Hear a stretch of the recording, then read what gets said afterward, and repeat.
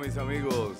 Saludos y bienvenidos a su programa de mañana, que como cada día, desde ahora y hasta las 10, nos mantendremos con ustedes llevándoles noticias, informaciones, análisis, comentarios, de todo lo que acontece, no solamente a nivel local, sino también regional, de la República y a nivel mundial, porque este, esta señal llega a todo el mundo a través de la magia de la red de redes, la red de internet. Esto es Telenor y esto es de mañana. Buenos días, Fulvio. Muy buenos días, Amado. Te, te veo la cabeza mojada, Fulvio. Explícame a qué se debe. Sí, no. te, diré, te diré que también las flores necesitan agua. Ah, ok. Como los rosas, como yo, por o ejemplo. los Soy rosas, los rosas, los rosas. que no soy una rosa precisamente. Pero, Aquí estamos, Amado, gracias a Dios y gracias a Telenor que siempre nos une con todo el mundo. Un abrazo grande a los de aquí, un abrazo grandote a los de allá, que tanto añoran su terruño querido. Y Bueno. mira si esta señal llega lejos, que ayer mientras yo desarrollaba el tema, que no, desarrollaban el tema de los ayuntamientos, lo que ganaban los regidores. sí, sí. Y desde Tailandia me estaban escribiendo, tanto, tanto, tanto. dando la información. Así es. Bueno, eh, miren, si usted va a salir de su casa en este momento o en un momentito, chequee muy bien porque de esta mañana temprano hay una pertinaz llovizna, un chubasco, como dicen los viejos, una harina, de esas harinas que mojan. Así Sí, que sí, sí. Coja su paraguas o tírese por la cabeza un juri, eh, que es la, la, la cosita esta que le ponen a los abrigos. Ajá. O, o algo ha- haga algo porque está lloviendo. Más adelante Fulvio nos va a decir por qué está lloviznando en San Francisco de Macorís y probablemente en otras partes del país. Mientras tanto, yo le quiero recordar o, bueno, decirle cuál es la pregunta del día. ¿Considera usted que demanda contra Zapete, se refiere a Marino Zapete, el periodista, luego de denunciar presuntos actos de corrupción, atenta contra la libertad de expresión? Esa es una interesantísima pregunta porque aquí hay una, un equilibrio, ¿no? Que debe haber el equilibrio necesario entre la libertad de expresión y la dignidad y el honor de las personas. Por eso cuando alguien dice algo, lo primero que dice, búscame la prueba, porque eso rompería eh, ese, ese equilibrio y entonces inclinaría la balanza a favor del denunciante porque Sí. puede probar que lo que dice es cierto. Sí. Bueno. Pero viendo eh, el modo vivendis que se ha estado dando con los periodistas de opinión contraria al gobierno o periodistas independientes, uno eh, está como obligado a pensar que aquí está pasando algo con, con- con la prensa, con la libertad, a pesar de dejar, ¿verdad?, por los diferentes medios, porque el medio del el Internet, de los teléfonos inteligentes, todavía no han encontrado la forma de detenerlo. Pero tú ves a Eddie Febles, los problemas que tuvo en su empresa, en la empresa donde laboraba. También tú ves a Altagracia Salazar, los problemas que, que tuvo en sus trabajos. Ve también a Marino Zapete, eh, las reiteradas eh, molestias que ha tenido en las diferentes empresas que ha, que ha laborado. Y también tú ves eh, a un Uchilora, aunque lo dejan ahí, ¿verdad? Pero medio marginado. Y a un Juan Bolívar Díaz. Y ese estilo de periodismo independiente, a pesar del gobierno tener todo el control o la mayoría del control de los medios con, con sus recursos, con su, con su abrumadora forma de, de hacer opinión, cada vez que quieren poner un tema, lo imponen al costo que sea. A pesar de eso, tuve esas siluetas como de hacerle la vida difícil a esos sectores de La periodismo. de la intolerancia. Exactamente, a ese estilo de periodismo independiente. Y el caso de Marino es reiterado.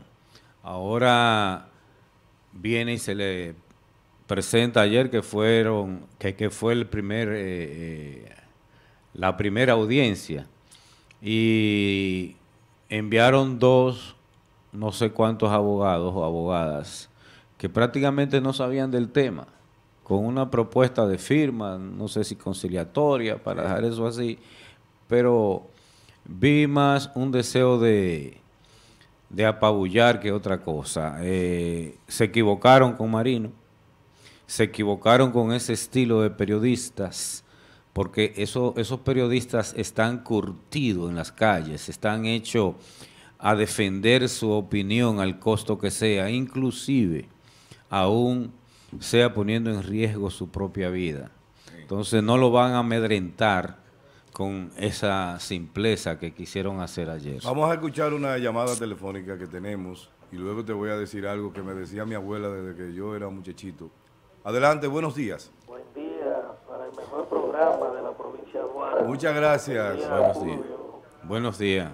Agradecido de contar con su teleaudiencia. Adelante, díganos. Yo antes de irme a trabajar siempre veo ese programa. Ah, ok, Ajá. eh, oye, eso se le va a terminar este gobierno corrupto con Luis Abinader porque ya no aguantamos más. Ellos quieren controlar todo y esos, esos periodistas que están vendidos en la televisión, la gran mayoría de la capital, todo eso se le, se le va a terminar porque Luis Abinader ahora va a ser presidente de la República Dominicana. Estamos cansados de PLD, quien te habla un PLDista. Muchas gracias. Bien, muchas gracias. Buen día, sí. Aprovechamos el momento para saludar a Sócrates Mercedes, que ya se une al panel. Buenos días, Sócrates. Buen día, amado Fulvio, a los amables televidentes. Bien, cómo no. Y bueno, yo decía al principio que en un momentito Fulvio nos va a explicar por qué amaneció lloviendo. Fulvio, ¿cómo anda el clima? Cuéntame. Lo primero que No está lloviendo. decir nada. está lloviendo. Lloviendo. Y anoche estaba lloviendo y hacía un frío para la montaña, para la loma donde Ah. estábamos. Sócrates, la vaguada 18 sigue grados. incidiendo, la vaguada sigue incidiendo en nuestro territorio nacional. Está en los diferentes eh, Frente eh, frío. niveles de la Ah. troposfera. También eh, el viento alisio del este-noreste está aportando. Ambos fenómenos están incidiendo. Y nuestra región nordeste, nuestra región norte, eh, la cordillera central, parte del valle caribeño, va a estar recibiendo buenas porciones de nubes cargadas de lluvia, por lo que se espera que se mantengan estas lluvias a veces fuertes, con tronadas y relámpagos y ráfagas de viento. Para mañana viernes va, se va a incrementar más todavía las posibilidades de lluvia. Y hoy amanecemos aquí en San Francisco de Macorís precisamente como decía Amado y Sócrates, eh, con esos chubascos que son típicos de esta época. Y la temperatura a 29 grados se va a poner la más alta hoy y ahora estamos a 20 grados. A 29, Se va a poner hoy. ¿cómo a 29? Sí. Amado, nosotros estábamos anoche a cuánto? A- A a- 18. A 18, 18. estábamos nosotros. A 18. ahora está a 20 grados. En, en la, Se siente a en- 20 en- grados. ¿Cómo se llama? El firme del caballo. En la firme de la brisa. El firme de la El brisa. firme de la brisa. En el, la firme, en el Sí. firme de la brisa estaba a 18 anoche. Sí, sí. Ahora Eso está... Como, como ocho plantas por encima de una mata de amapola. Sí, sí. Ahora está a 21 grados. En la noche se va a poner a 20 grados. Y tenemos que el sol inicia su presencia a las 6 y 41 y se Oh. termina de ir con la historia de los mortales a las, 10 a las 6 horas y 21 minutos. Por- Las por- condiciones del tiempo estarán eh, regidas por posibilidades de lluvias por encima del 40%. Por si alguna gente tiene alguna duda, eh, nosotros vemos eso a esa hora en que está lloviendo aquí. Sí, porque hay gente que piensa de que no, güey, si está lloviendo, no se va a ver. No se ve. Porque- Pero a lo se mejor ve. las dicen que... Nuestro Bueno. tamaño y nuestra visibilidad. Miren, eh, hay un amigo que me dijo anoche, eh, eh, luego vi la noticia, que eh, la Organización de las Naciones Unidas declara a la bachata como... ¿Cómo fue sobre La UNESCO, Patrimonio La UNESCO. Cultural Inmaterial de la Humanidad. Exacto, igual como declaró el merengue. Pero en Eh, este caso fue la música y el baile. Ok, ok, ambas cosas. Ajá. Ok, eh, eso indudablemente que nos coloca nueva vez en la línea de tener una actividad cultural, folclórica, como le queramos llamar, que rebasa los límites de las fronteras dominicanas, los límites de aquellas fronteras donde viven los dominicanos, y se convierte en un tema con cierta característica mundialista, en el sentido de que, bueno, la ONU, que es una organización conocida a nivel mundial, algunos la respetan, otras no, pero bueno, tiene su importancia. Claro. Eh, acaba de entender que esto es algo que toda la humanidad puede sentirse dueña de él y eso es interesante. Lo que me preocupa en realidad es que lo mismo pasó con el merengue y como que no se le hizo el, la bulla vamos a utilizar un término coloquial, la bulla que merecía que se le hiciera al merengue al momento en que es declarado como patrimonio inmaterial de la humanidad, como lo hizo la UNESCO, creo que fue en el 2015. Creo que sí. Entonces, eh, quizás sería llamar la atención al pueblo dominicano, a las autoridades dominicanas, al Ministerio de Cultura, los diferentes ministerios de, bueno, ministerio no, a los diferentes departamentos de cultura de los municipios de este país, que son muchos, y que tienen culturólogos trabajando, algunos de ellos, o si no, gente interesada en la cultura trabajando, que a este tema se le dé la debida importancia, porque independientemente de lo que pasó con el merengue, aparentemente todos los otros, eh, digamos, movimientos artísticos dentro de la música, eh, no me atrevería a llamarle género al reggaetón, al reggaetón porque pienso que eso es pasajero, eh, reggaetón y ese tipo de cosas, tomaron más ajo, o sea, es como si no le hubiésemos dado importancia a lo que pasó y quisiéramos, sería mi deseo, que no pase lo mismo con la bachata. Pero, ¿qué es lo que tú piensas que se puede hacer? Bueno, yo pienso que podemos nosotros idear algún mecanismo, algún... Mira, por ejemplo, para poner, yo soy un salsero, he sido un, seguidor de la salsa de toda la vida. En, en, Puerto Rico, por una ley, se declaró el tercer domingo de marzo como Día Nacional de la Salsa. En Puerto Rico se hace un evento cada, cada tercer domingo de marzo de cada año, durante 12 horas, una orquesta sube a la tarima y la otra baja música salsa. Eso es un evento que lo visita todo el mundo, incluso mi mujer y yo lo visitamos durante muchos años, tenemos ya unos años que no vamos, pero así como nosotros íbamos de la República Dominicana, había gente que iba de otras latitudes y ellos han mantenido viva la idea de la salsa. Los argentinos han mantenido viva la idea del tango y tú ves que el tango lo han reformado. Hay tango rock o rock tango, hay tangos modernos, ha ido cambiando incluso el baile, la cadencia del baile de tango, los movimientos, ya no es tan rígido, ya no es tan enjunto como lo era antes, ahora el tango es, más, es diferente. Eso quiere decir que los países mantienen viva su tradición, sobre todo su música, sobre todo su baile. Nosotros tenemos por costumbre, el, el, dominicano es un ser muy impresionable, en el sentido de que nos dejamos como acogotar por lo extranjero. Aquel famoso complejo de Guacanagaritz todavía lo tenemos encima. Y eso hace que eh, inventemos con otras cosas que no conocemos, pero que nos parecen bonitas y modernas. Eso es lo de ahora. Con lo que pasó en la declaración de la UNESCO, debe de estarse escuchando bachata en toda República Dominicana y en cada sesionado donde hay muchos dominicanos. Yo diría todo un mes. Que tú digas, por ejemplo... Una locura de bachata debería estar pasando en todos los parques y las calles. Que tú digas, por ejemplo, vamos a instituir por ley que un día en el año todas las emisoras dominicanas pongan bachata, hasta la 91. okay. es mi emisora. Eso podría ser. Eso es una manera de darle el valor. Es que lo que ha pasado, la mayoría del pueblo dominicano no lo ha entendido. Exacto. Y pasó con el merengue y pasó de Nos están eh, poniendo un sello es como si fuera hechizando el globo terráqueo con ese ritmo que nace aquí y se desarrolla aquí. Y sin embargo, todo pasó como, como algo sin ningún tipo de importancia y el nombre de República Dominicana con la bachata está lejos. Yo puedo poner el ejemplo. Mi hijo aquí no, no sabía bailar bachata se va a China a estudiar, allá se encuentra con una rusa que están estudiando también. Y la rusa y la rusa es el que le está enseñando a bailar bachata. Oye. Entonces, y es eh, el sello, es la firma de República Es Dominicana. tanto así que vi en, en la red Twitter que alguna gente habla de Juan Luis Guerra. Realmente el- la bachata, la- el papá de la bachata es José Manuel Calderón. Ese es el papá de la bachata. Junto le sigue, eh, bueno, junto con el Añoñaito y Leonardo Paniagua. Esos son los nombres, los tres nombres más importantes de la bachata. ¿Cuáles son? aprovechar para saludar a, a- a- a Carolina que está con nosotros. Buenos días, Carolina. Buenas noches. No, no, noche día. Estamos en la mañana. Padre santo. Lo que pasa es que La dejaron igualita. La dejaron igualita. No, no, no. ¿Eh?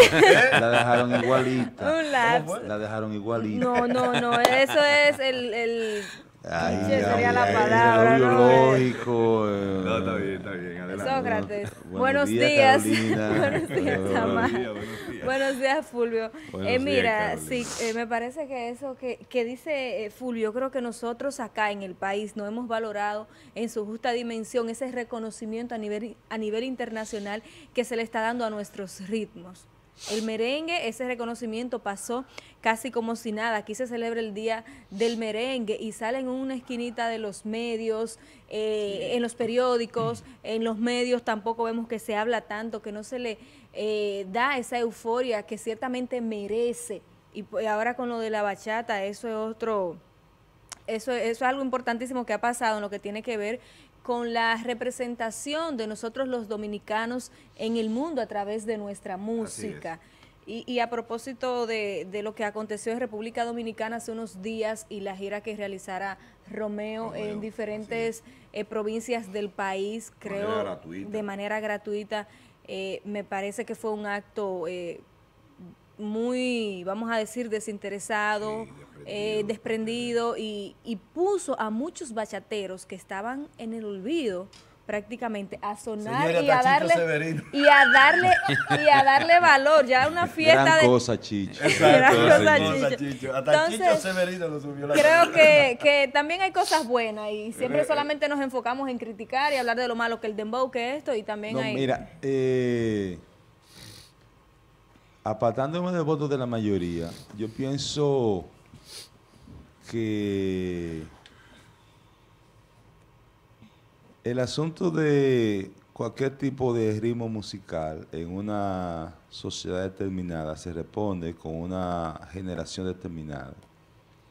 Eh, si esta generación a la cual le corresponde esgrimir los mayores gastos y llevar la dirección del país y marcar las tendencias de la moda, de la cultura, de lo que se va a oír. No le interesa el merengue, el merengue no se va a oír aunque se hagan 100 festivales. El problema del merengue es que no hay cultores del merengue y que no hay oyentes dispuestos a oír merengue. Oyentes nuevos. Los oyentes ah, tradicionales del merengue estamos entrampados en lo que oímos en nuestra juventud y no le damos cabida a nuevos cultores del merengue. Y las personas jóvenes que van a ingresar generalmente en el mundo de la música prefieren irse por el, o por la bachata o por el dembow, el reggaetón todas esas manifestaciones que tienen. El Estado, sin tenerlo como política de difusión del merengue, sino como forma de prebenda, tiene contratado a la mayor parte de las orquestas de merengue de la República Dominicana, o a una gran parte. Le, le tiene asignado, yo no sé si es un sueldo, una iguala o no sé qué, pero hay un grupo de orquestas que son las que tocan todas las actividades. Exacto, todas las, todas las actividades que realiza el Estado. Entonces, eh, la bachata se va a corresponder con un estado, con un momento de la evolución de la vida de la República Dominicana y lo mismo va a pasar con el dembow, con el reggaetón y se van a ir creando ritmos diferentes porque el problema es que nada se queda estancado, todo evoluciona, todo se mueve, todo cambia.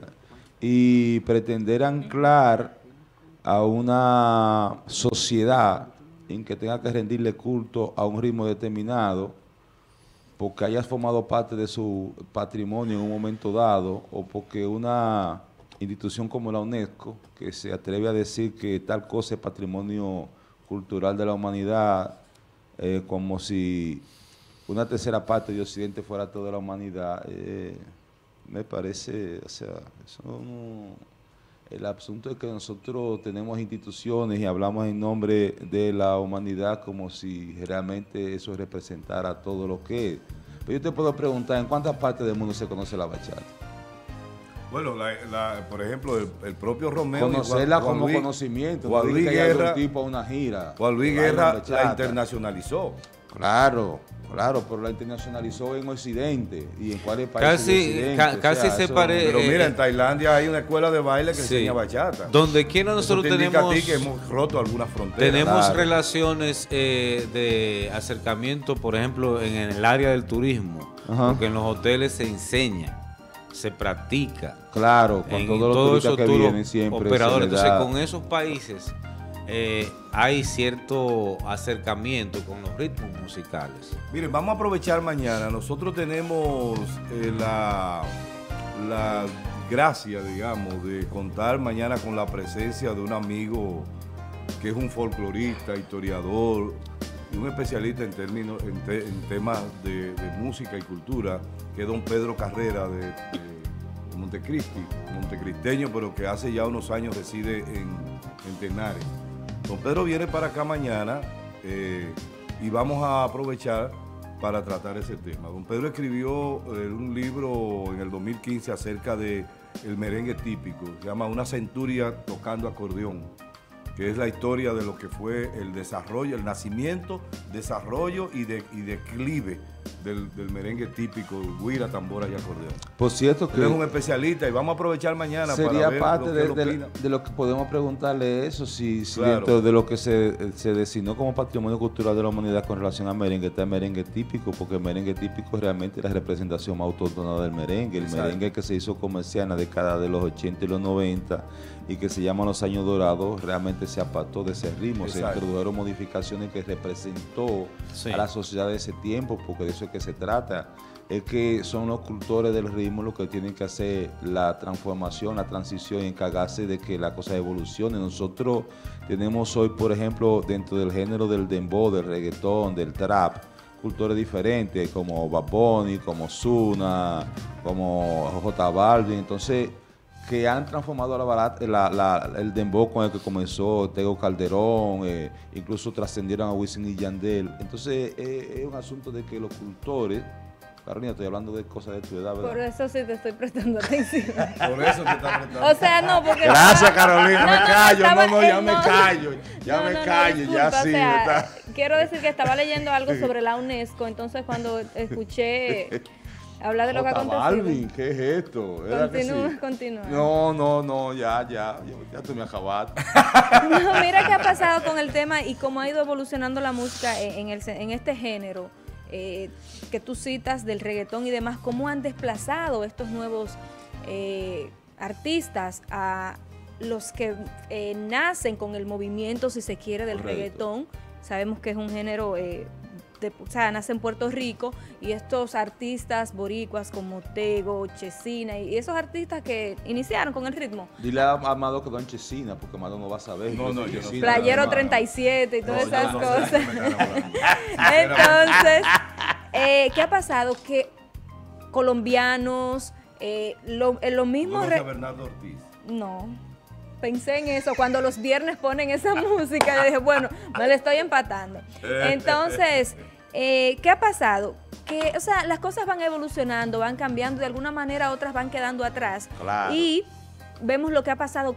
Cuando se hablaba de reggaetón a nivel internacional se hablaba de Puerto Rico, ya esto no es así. De hecho, en República Dominicana no se consume tanto el reggaetón o el dembow eh, puertorriqueño, que es donde nace todo esto, porque consumimos o se consume el de acá y, y otros artistas de otros países que han surgido, como J Balvin, me parece que reggaeton- colombiano. Yo conozco algunos reggaetoneros porque los reggaetoneros puertorriqueños entienden que ellos son la continuidad de la salsa.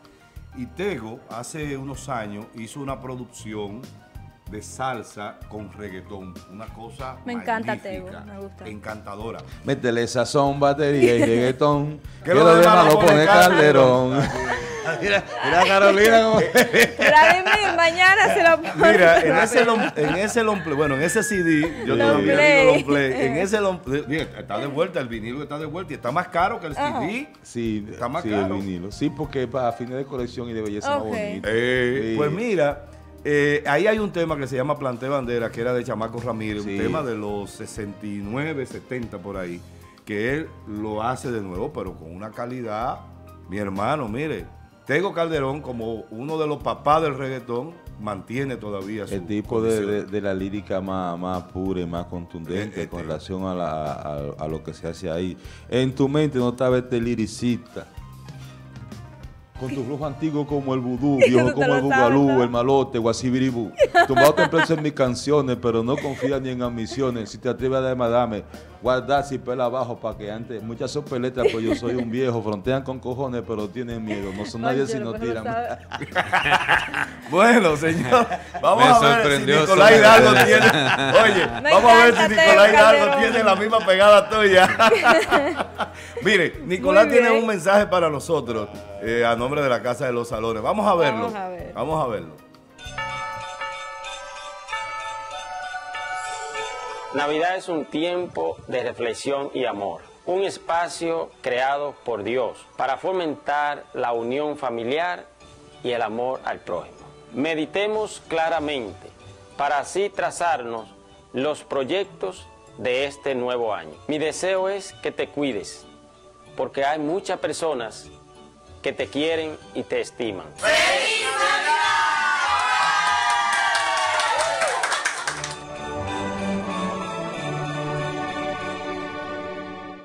De vuelta, mis amigos, con ustedes en su programa de mañana. Un mensaje que nos tiene la distinguida, hermosa y nunca bien ponderada Carolina. Muchísimas La gracias, del hombre. Así. Sócrates. No diga Farmacias. eso, que ahorita andas llevándole receta. Mira, Carolina, ayúdame con acción por este tipo de cosas que anoche perdieron las águilas, perdieron los gigantes y perdieron los leones. Eso quiere decir que ganaron los otros tres equipos contrarios, que la Gonzalo, clasificación, las águilas han perdido ese juego consecutivo, lo cual seis, lo cual no ha sido Mala aprovechado por el equipo de nosotros que se mantiene distante, volvió a perder anoche, los toros extendieron a siete su cadena de éxito y el número mágico de los equipos que están en la punta se han colocado en uno, eh, de, de los que están en la segunda posición, ya los toros aseguraron una clasificación, entonces de lo que se trata es que el equipo local se encuentra en una situación difícil, pero básicamente porque no han aprovechado esa mala racha en la que se metió las Águilas. Incluso si se hubiesen ganado los dos juegos pasados, nosotros tuviéramos ah, una oportunidad de clasificar, lo hubiésemos tenido. No la tenemos y tenemos que estar luchando con eso ahora. Hoy de tónico, a esa zona deportiva de hoy. Una pregunta, eh, ¿cuál es la cuál sería la posibilidad que tienen en, en términos en de las probabilidades El número los mágico. gigantes? El número mágico, tengo que tener cosas. de- Un lapicero. lapicero, un lapicero. No, y, y- y el standing. la tabla. Ponme Ah, el standing ahí para decírtelo. En español, Sócrates, los muchachos. ¿Tú no No, sabes lo que no- no- está, no está.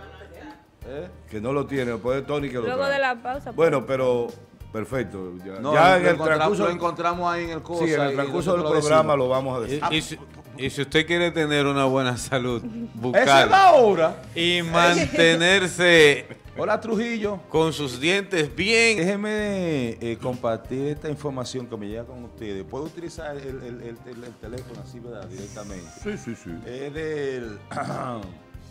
¿Quiere que le haga un candidato- closó? Ahí está la cámara. del candidato alcalde de la Fuerza del Pueblo que me envía un mensaje ¿Y quién que tiene el siguiente contenido.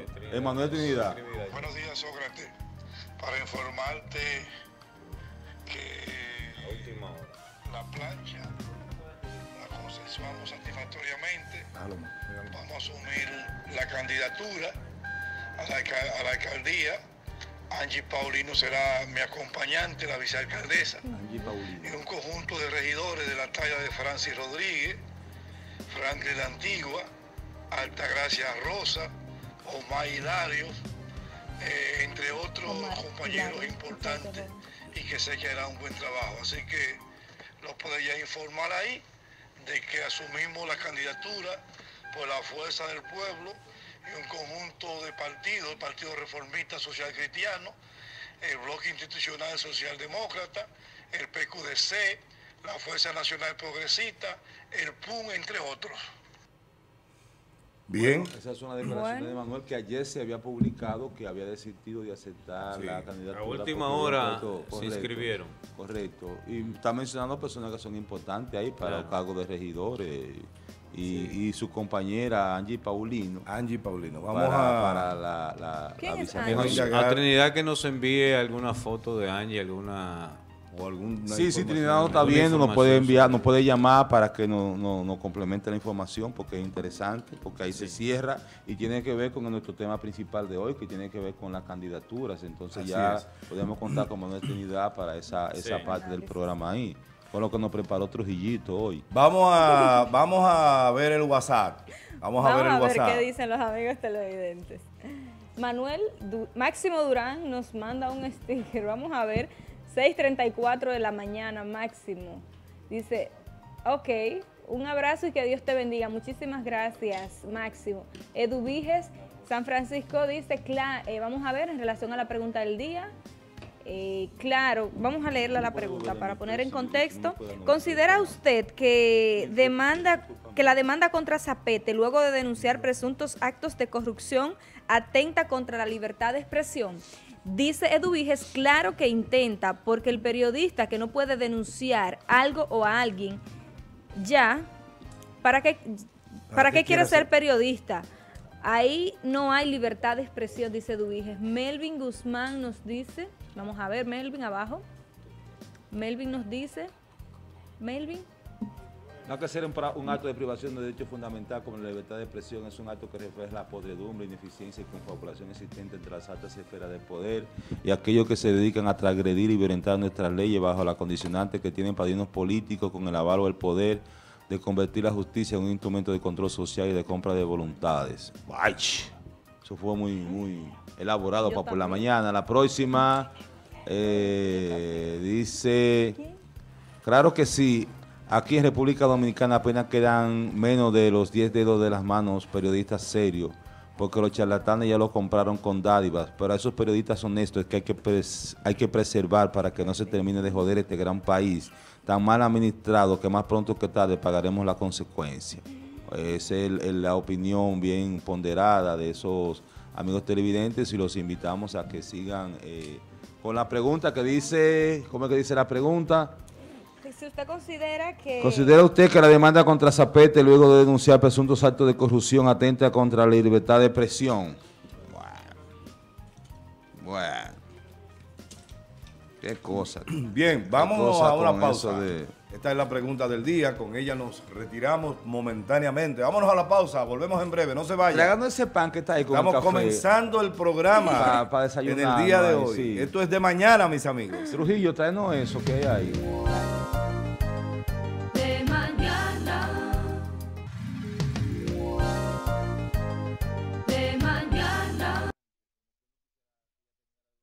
Brazos. Eh, mis amigos, estamos de vuelta con ustedes. Esto es de mañana. La pregunta del día, ¿considera usted que la demanda contra Zapete luego de denunciar presuntos actos de corrupción atenta contra la libertad de expresión? Vamos a ver, esa es la pregunta. Vamos a ver qué feedback tenemos de ustedes durante el transcurso del programa. Iremos eh, leyendo los WhatsApps, que son las interacciones de ustedes. Mucha afluencia ayer, Mm. eh, a- o sea, había, muchas personas en apoyo a la persona de Marino Ah, sí, Zapete, a Marino, sí. la Él prensa. concita mucho interés y mucho apoyo de mucha gente. Eh, sí, porque se entiende que cuando tú tienes un manejo apegado eh, a la defensa, vamos a decir, A los principios, eh, a la sí, ética. a la ética y, y a todo lo que tiene que ver con el buen manejo de, de las cosas que, o de la manera en que se deben de hacer, eso crea un nivel de empatía, empatía importante con la gente y, y se le demuestra, o sea, eso cae por defecto. Claro. ¿Y qué fue lo que hizo Zapete? Zapete lo que presentó fue una denuncia de corrupción. Una denuncia donde se vislumbra una componenda de la hermana del procurador con una compra grado a grado sin licitación desde el Ministerio de Obra Pública y favorecida en varias ocasiones en compra de, de- asfalto caliente, como le llaman los ingenieros como Sócrates. Eso es simplemente eso, una corrupción. Y por presentar pruebas de la corrupción, pues ya lo, lo, lo, quieren eh, psicritillar. Quisieran que se, que se esfumara la faz de la tierra. Creo que esto va a crear un efecto contrario, eh, o lo está haciendo, porque entonces eso es lo que se, Se ve. equivocaron se- ellos, la imagen que, que vende eh, desde el Ministerio Público o desde el gobierno o desde el procurador es que, ok, si tú dices algo como comunicador, como periodista de investigación, eh, por ejemplo, eh, o como un comunicador que hace frente a lo que entiende que está mal de gobierno, tenemos los casos de Altagracia Salazar, el mismo Nieves eh, y este caso de Marino Zapete, ¿qué te dice eso? O sea, ¿qué le dices tú a la gente? Bueno, el gobierno lo que quiere es tener periodistas bocina, lo que quiere tener es gente comprada o gente simplemente que no se interese y que no enfrente de manera directa al gobierno. Entonces, ¿qué va a pasar? Que los demás van a tener cierto temor de hacerlo. Bueno, pues yo no me voy a meter en ese problema porque De lo que me hecho, van a de someter. hecho hay, una, hay, una, hay un lado de la, de la noticia que ustedes no están viendo y es el lado de que la hermana del procurador tiene derecho de intentar una acción en contra de Sí. cualquier persona que diga Claro. algo que ella entienda que no es correcto. Claro, tiene Ese todo el derecho. La parte Ah, criticable yo aquí pienso es- que lo criticable aquí eh, quizás sería es torcer la, la justicia o intentar torcer la opinión pública o intentar intervenir en, un- en lo que debe ser algo que ¿Y por qué- y discurrir por- por qué dentro del envió- ámbito de la ley y de las normas establecidas. Ayer envió un papelito pidiendo disculpas. ¿Quién? Ella, con los abogados de ella, pidiendo disculpas a Zapete, un papelito para que Zapete lo leyera. No sabía Pidiendo ese- disculpas ese porque sí no lo sabía eso. Sí, sí, sí, sí, un papelito fue lo que mandó. Ah, no sabía. Mira, sí, Sí. y, y que- porque Imagínate el una carta o mira. un acto de algo así. El algo. problema- Le dice un papelito. Porque... Sí, el problema de eso Para se trata que eh, le ha cogido con esa muchacha. en, en la en los delitos de difamación e injuria, los supuestos delitos eh, son delitos de acción privada en los cuales no interviene el Ministerio Público. Pero eso es simple, se Sócrates, queda a resguardo simplemente un 11.500 asunto entre millones, particulares. 11.500 millones de pesos que fueron comprados de asfalto para asfaltar el país, que da 2.247 kilómetros en, en 6 pulgadas de, de espesor, con 7 metros, con 6 metros de ancho. ¿Por qué entonces? Bueno, que lo prueben, que, que fueron licitados. ¿Por qué fue grado a grado? ¿Por qué fue entregado así? Bueno, eso es lo que se está Y cuestionando. que lleven la o prueba. sea, no llevaron ninguna prueba. Y lo, y lo cuestionable también es las acciones que, que han tenido, o sea, que, que han hecho ellos. En el caso del procurador. Ahora, si era para el puente de 440 Exacto. kilómetros de largo, ya es Y otra el mismo cosa. Zapete en su carta lo hace de- la denuncia de manera pública y el dueño del programa, el dueño del canal de Teleradio América le dijo a Zapete y Zapete tiene los mensajes de texto que debió de quitarle el contrato que tenían establecido eh, de su espacio en ese canal por presiones del procurador. y Eso, también, es, eso es más un atentado que la de que la que la querella, porque la querella es un derecho. Y, y también eh, a su empresa, o sea, donde él trabajaba, donde trabaja como empleado, ni siquiera tiene esto que ver con medios Sí, de comunicación. verdad, porque es que nosotros estamos partiendo y De lo que la él gente estableció. que- toda la gente Sí, que sí, habla de esto parte de que Zapete tiene razón Sí. y no es así. No, él dice que tiene las pruebas. Bueno, pero esas pruebas hay que ver. Él que va a ti- tener incluso desde un el punto de escenario vista de para la técnica. Desde el punto de vista de la técnica procesal, si las pruebas no son obtenidas legalmente, de acuerdo a las normas, esas pruebas, aunque sean ciertas, no tienen valor jurídico. En el caso de la emisora de Teleradio... Se la envía a los Israel la prueba de. Zapete. Se la envía a Israel la prueba de Eh, los Zapete. mensajes de texto él los tiene cuando el señor de Teleradio América le dice el por qué debió de sacarlo del aire, Bien. quitarle su programa. Nosotros tenemos sí un, un problema medular, pero yo quisiera aprovechar la oportunidad para que el, eh, Fulvio desarrolle un tema que nos trajo. Sí. Eh, Israel, ten la prueba ahí para cuando el maestro Amado la, la solicite. ¿Y el café? ¿Y el café? Eh, quiero compartir con ustedes en esta mañana algo que pasó ayer en el plano mundial. Ustedes saben que en Francia se estuvo celebrando la cumbre mundial del clima. Sí. Estuvo el presidente, ¿verdad? sí, estuvo el presidente allá. Y ayer la revista Times, eh, bajo el título El poder de la juventud, eh, publicó el anuncio nombrado a la joven activista eh, Greta eh, Thunberg como, Bolsonaro dijo que era una mocosa. como el personaje del año. ¿Con quién compitió ella? Ella compitió contra Nancy Pelosi, la líder de los demócratas en la Cámara de Estados La Unidos. Cámara de Representantes. de Cámara de Representantes, compitió con Donald Trump. ¿Con quién compitió? Compitió con los activistas que están llevando la huelga en Hong Kong.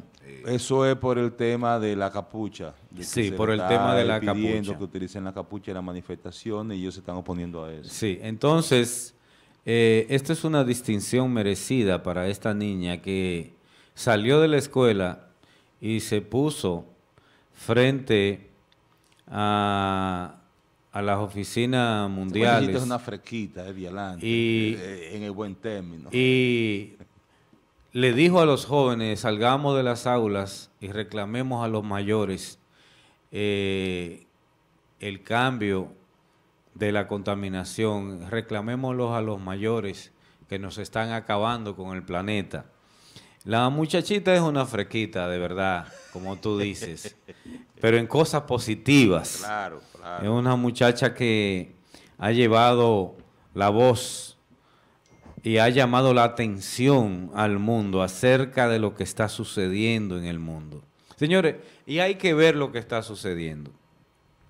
Este año se van a producir 37 gigatoneladas de dióxido de carbono. Esto es miles de millones de toneladas este año. El planeta tiene una capacidad cercana, de acuerdo a lo que es el dióxido de carbono en la atmósfera, que siempre ha existido, y gracias a ese equilibrio es que nosotros podemos convivir en el planeta a la temperatura promedio de los 15 grados. Sin eso prácticamente fuera imposible, ¿verdad? Eso le ha costado millones de años al planeta llegar a ese equilibrio. Y es menos de un 1%, mucho menos. Y llega prácticamente a 800 gigagigas de toneladas de dióxido de carbono. Pero cuando se producen todos los años, se están produciendo 37 gigagigas de toneladas de dióxido de carbono y aumentando. Y que tres países sean los responsables del 50% de esas emisiones. Llámese Estados Unidos, la China y la India. Responsable esos tres, esos tres países. Y si le agregamos Rusia, ya ustedes saben. Responsable del 50% de todas las emisiones de, dióxido de carbono del mundo. Y el primer país, Estados Unidos, pues eh, se salió de los acuerdos a seguir produciendo dióxido de carbono en cantidades abrumadoras. La Tierra ya no tiene capacidad para poder este, controlar, disminuir en la misma eh, agresividad con la que se producen tantos dióxidos de carbono. Se han usado tantos residuos fósiles que ya, eh, por favor, eso no, eso no va ahí. Se han usado tantos residuos fósiles y se están usando que la agresividad es tan grande que pasa la capacidad de la Tierra de poder eh, asimilarlo con las diferentes formas naturales que tiene, como es eh, las plantas, el fitoplancton eh, y, otras medidas. Sin embargo, por la misma avaricia del hombre, pues se sigue produciendo. Miren, ayer pasó un fenómeno en, en el plano del comercio mundial del petróleo y fue con la compañía saudí de petróleo, Aramco, que entró al sistema de la bolsa. Solamente vendieron, el, eh, pusieron a la disposición el 1.5% del costo total del valor de la compañía. Y esto en 10 segundos, amado, en 10 segundos se vendieron todas las acciones que hubo que detenerlo, hubo que cerrar, porque ahí hay una serie de robots que, que trabajan eh, automáticamente comprando acciones, vendiendo acciones, y eso fue algo tan extraordinario que esta compañía, que es la más contaminante del mundo, pasó a ser la compañía más costosa del mundo. Se pueden juntar las cinco petroleras, se puede juntar la Shell, la Mobil, todas esas compañías y esta compañía la sobrepasó. Su capital se estima en 1 pu- 1.8 billones de Bi- dólares. Billones. Billones de dólares. Imagínense eh, hablar de esa cifra Un millón de millones. un millón. es ponerle no sé- 12-0. Yo no sé escribir eso. Eso es increíble. Tú le pones 12-0, le pones 15-0, entonces llega a los billones de dólares. 1.8 billones de dólares el valor de esa compañía, la compañía más contaminante del mundo. Sin embargo, eso pasó en un momento en que el, el mismo ser humano está reclamando eh, no agredir tanto a la tierra. Y las nuevas tecnologías están copando también los mercados, como son los carros eléctricos, los paneles solares, la batería de litio y una serie de, de artefactos modernos que llevan entonces a, a una vida menos agresiva al planeta, así como las energías eólicas, las energías solares, la energía térmica, aprovechando el calentamiento de, los, de las zonas volcánicas, en fin. Sin embargo, esta compañía truena y rompe todos los récords que hubo que detener, porque máximo 10% es, es- es lo que se puede permitir en, en esto de bolsas, y eso pasó, eh, fue en segundos.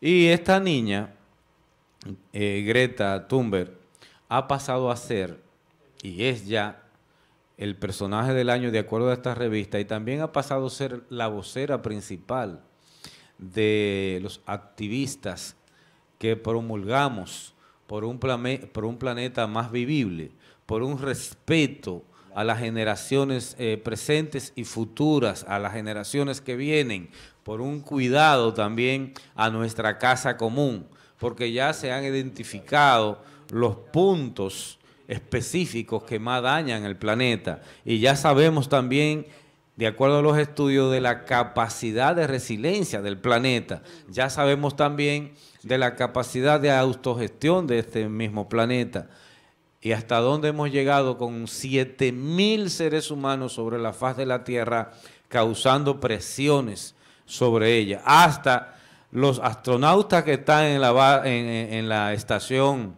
internacional presionan porque son muchos residuos eh, que se tiran, son muchos eh, desechos de naves espaciales que ya andan circundando todo, el globo terráqueo. Entonces, eh, en buena hora que se haya elegido a esta niña sueca, una niña que le gusta comer arroz con garbanzo, le gusta los animales, sí, sí, ella es fanática de comer arroz y- con garbanzo, le gustan los animales, tiene dos perros y es una niña común y corriente, eh, solo que eh, es preocupada por lo que está pasando en el planeta y está llevando esto a todo el mundo. Y ojalá que los jóvenes, como ella llama, nosotros los jóvenes, somos los responsables de decirle a los mayores el daño que nos han hecho y el daño que le están haciendo al planeta. Por eso necesitamos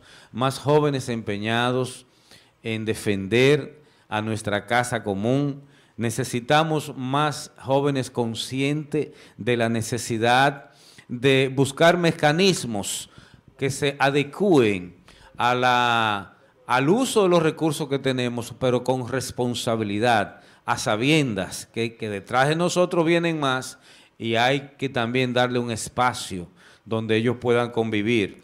Hoy nos faltan ríos, hoy nos faltan espacios en las montañas, nos faltan espacios en los mares y se debe casualmente a la forma irresponsable con la que se han usado estos recursos en toda la trayectoria de la vida humana. Es una de las especies más invasivas y en toda la capa evolutiva apenas nosotros representamos algunos segundos Mira, como yo- especie. Yo nunca he pensado, yo nunca he creído en la casualidad.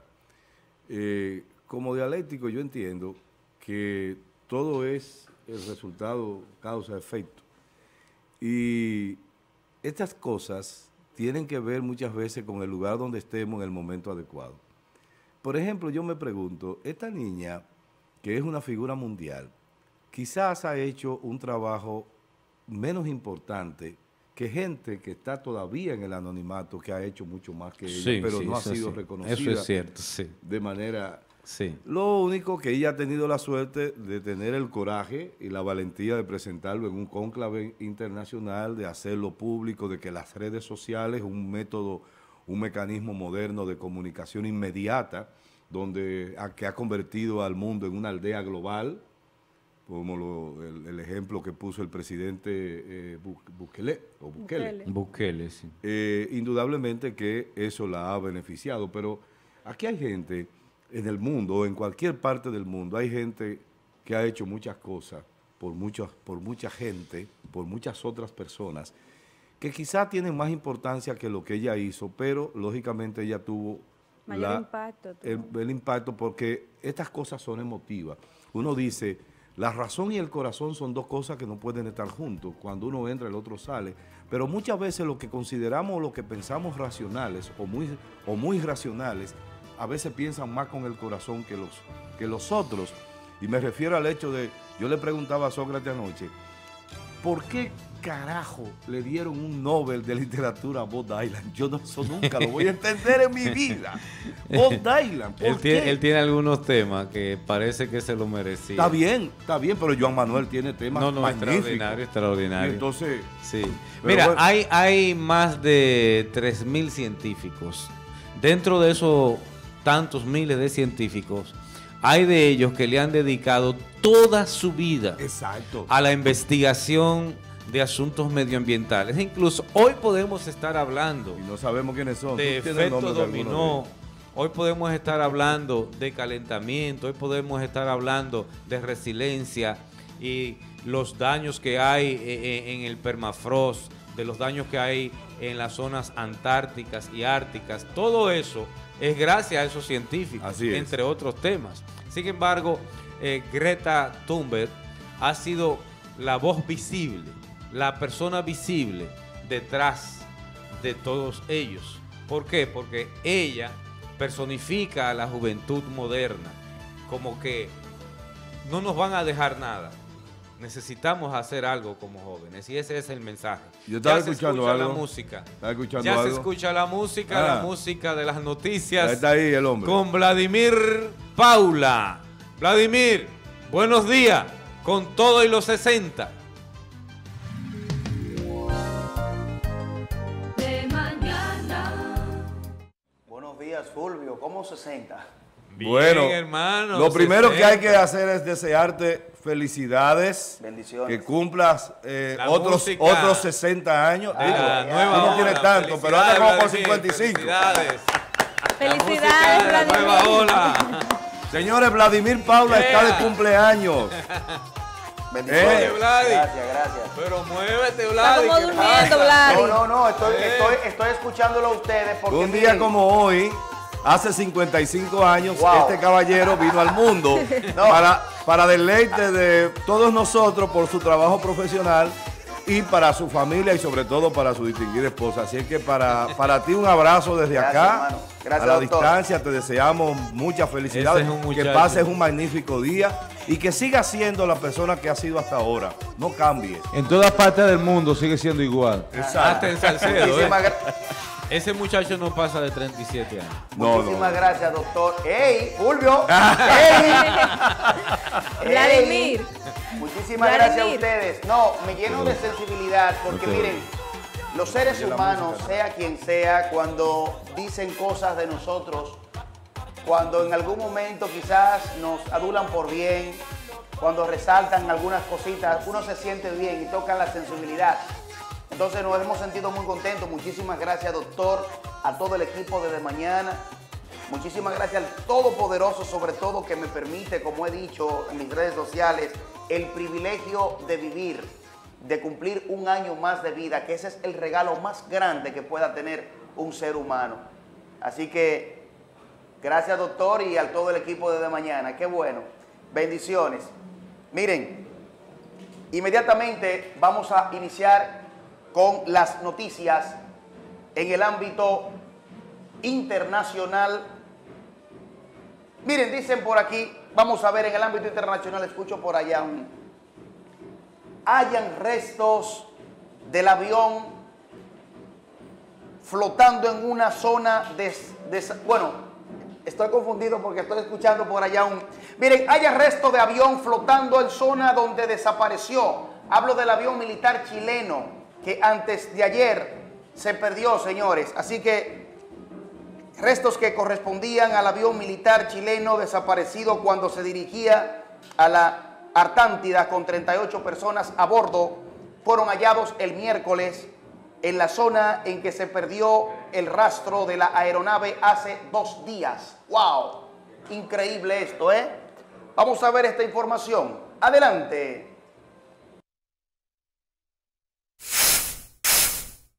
Señores, miren, en el ámbito nacional, Educación pide al ADP reconsiderar su posición de suspender la docencia. El Consejo Nacional de la Educación aprobó este miércoles una resolución donde condena las pretensiones de la ADP de suspender el año escolar a destiempo por las festividades navideñas. Veamos. Hay un calendario escolar aprobado por todos aquí, por el Consejo Nacional de Educación, donde la ADP es parte de este consejo y estuvo de acuerdo con ese calendario. Me han llegado varias comunicaciones de distintas seccionales eh, asumiendo que ya las docencias terminaron y que ya hay vacaciones y que retornamos en, en enero. Creo que es un mal mensaje hacia la sociedad. Bueno, miren, a cinco días de vencer el plazo para renovar el marbete, el 28% no ha pagado los impuestos o el impuesto. Así que a cinco días de vencer ese plazo para que se renove el marbete sin cargo, un 28% de los propietarios de vehículos no ha pagado el impuesto por hecho eh, de circulación, según la Dirección de Impuestos Internos, que además informó que los dueños de más de 950 mil unidades vehicular han cumplido con el proceso tributario establecido en la Ley 6317 de Tránsito y Movilidad. Bueno, señores, miren, y algo que nos sentimos sumamente contentos, muy contentos todos los dominicanos, fue que la bachata, nuestra bachata, fue inscrita en la lista representativa del patrimonio cultural inmaterial de la humanidad por la Organización de las Naciones Unidas para la Educación y la Ciencia y la Cultura, la UNESCO. Así que la bachata, señores, ¿eh? declarada patrimonio cultural inmaterial de la humanidad. Que viva nuestra bachata, qué bien. Y a todos sus exponentes. En el ámbito local regional, vendedores ambulantes esperan llegar a un acuerdo con el alcalde de San Francisco de Macorís. Así que personas que se dedican a la venta de juguetes en el Parque Duarte dicen que quieren llegar a un acuerdo con el alcalde quien se opone a los negocios informales en esa área. Adelante. Nosotros somos, pertenecemos a la comisión de vendedores ambulantes. Lo que vendemos es juegos y luces. Sí, globos, cositas para los niños. ¿Qué fue lo que ha pasado con ustedes? Explícame. Bueno, nosotros ya tenemos un tiempo. Yo tengo más de 7, 8 años trabajando en el parque, vendiendo lucecitas, vendiendo juegos. Tú sabes, nunca se me había eh, impedido como se nos está impidiendo ahora, porque lo que pasó fue el domingo que nos llevaron, nos arrestaron, nos tiraron los linces como si uno fuera delincuente. Nos apresaron, nos esposaron. La mamá mía que operada la tiran al suelo. Sí, una mujer operada. El caso, nos llevan al hospital, nos llevan a, nos, detuvieron y después está bien, nos soltaron, el señor síndico al día llamó y nos soltaron, está bien, se le agradece. Lo que queremos hablar con él, que por lo menos nos dé un permiso, que no sea, que no se nos atropelle, porque ¿Quién nosotros, le está prohibiendo a ustedes vender su mercancía en el parque y en la... el, el señor síndico, el señor síndico, él no- entonces queremos hablar con él, a ver, a ver si por lo menos se civiliza y nos, y nos ayude con un permiso a que podamos vender, porque en realidad somos padres de familia, de ahí, de ahí que vivimos, de ahí que nos sustentamos. La alcaldía en torno a eso ha dicho que esos vendedores son procedentes desde Santo Domingo, que le quieren quitar la plaza, la venta a los vendedores informales de aquí. Por esa razón no se le permite, entre otros cuestionamientos. A propósito de la alcaldía, el Ministerio de Administración Pública otorgó un camión de tres metros al ayuntamiento de esta ciudad. Eh, por esta entrega, los gobiernos locales eh, por ser, ¿verdad?, uno de los mejores gobiernos locales con mejor transparencia y ejecución presupuestaria. Escuchamos a Alex Díaz. Adelante. Acabamos de recibir un camión de tres metros, un volteo, por el Ministerio de Administración Pública que maneja el SISMAT. El SISMAT no es más que el Sistema de Monitoreo de Administración Pública. Esto fue una combinación de dos aspectos que se han unido ahora en el MAP, que es aspecto transparencia y aspecto servicio. Son dos rankings. Lo unieron y en, eh, en esa unión nosotros pues hemos quedado en una gran posición donde a nueve ayuntamientos de unos 300, porque son 158 municipios, y también ciento y pico distritos, ¿no? Entonces, en ese tenor, nosotros también recibimos ese otro camión, que es el segundo en un mes que nosotros recibimos. Esto nos llena de mucha satisfacción porque son camiones que cuestan dinero. Miren, denuncian la paralización por más de cinco años en la construcción de un centro tecnológico en Pimentel. Así que vamos a escuchar qué dicen esos municipios en Pimentel. Adelante. Que eso está parado los ingenieros yo no sé a dónde se han ido y lo dejaron ahí abandonado. Eso está lleno de, de, de, de, cosas como esto. Bobuco. Bobuco. Que yo sepa, ahí no, yo ni he visto ingeniero ahí ni nadie a nadie. Nada. ¿Eh? Yo a nadie he visto ni ingeniero ni a nadie. Yo ni sé qué fue el ingeniero que contrató con ellos, no sé quién fue. La cuestión está paralizada eso ahí. Finalmente, en precarias condiciones se encuentra el centro educativo Roberto Duverger en esta ciudad de San Francisco de Macorís. Así que Dionisio Ortega, director del centro educativo en el municipio de San Francisco, se refiere a este tema, múltiples problemáticas. Adelante. La principal prioridad que tiene la construcción de aulas, ya que somos un centro muy pequeños y tenemos una comunidad bastante poblada, con aulas bastante pequeñas y súper pobladas. Necesitamos la construcción de 10 o 15 aulas y los espacios físicos que demanda un centro educativo como salón de actos, salón de profesores, biblioteca, eh, salón de orientadores y una cancha para que los niños se recreen. Todos estos espacios necesitamos en nuestro centro educativo.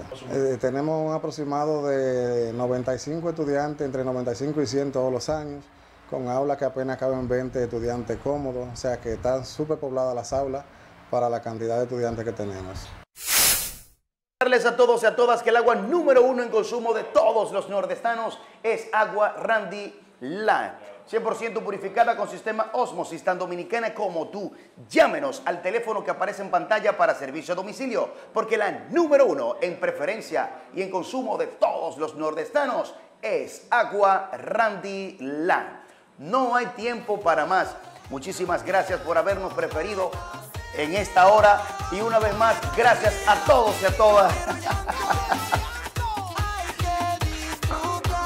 bueno, muchísimas gracias. Estos no, no, Rafaelito, por favor, Rafaelito.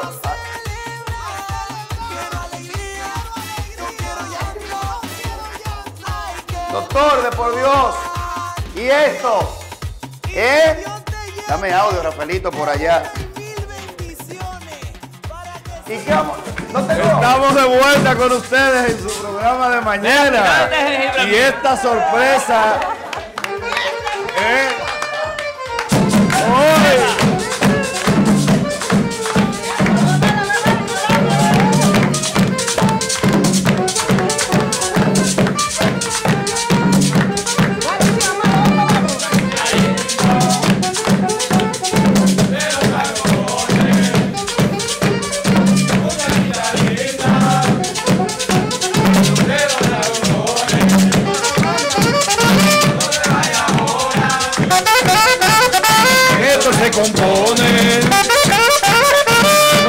vayas ahora. esto se compone. Hice un juramento. Voy a quedar mal. Hice un juramento. Voy a quedar mal. Por mujer no lloro. Por ti voy a llorar.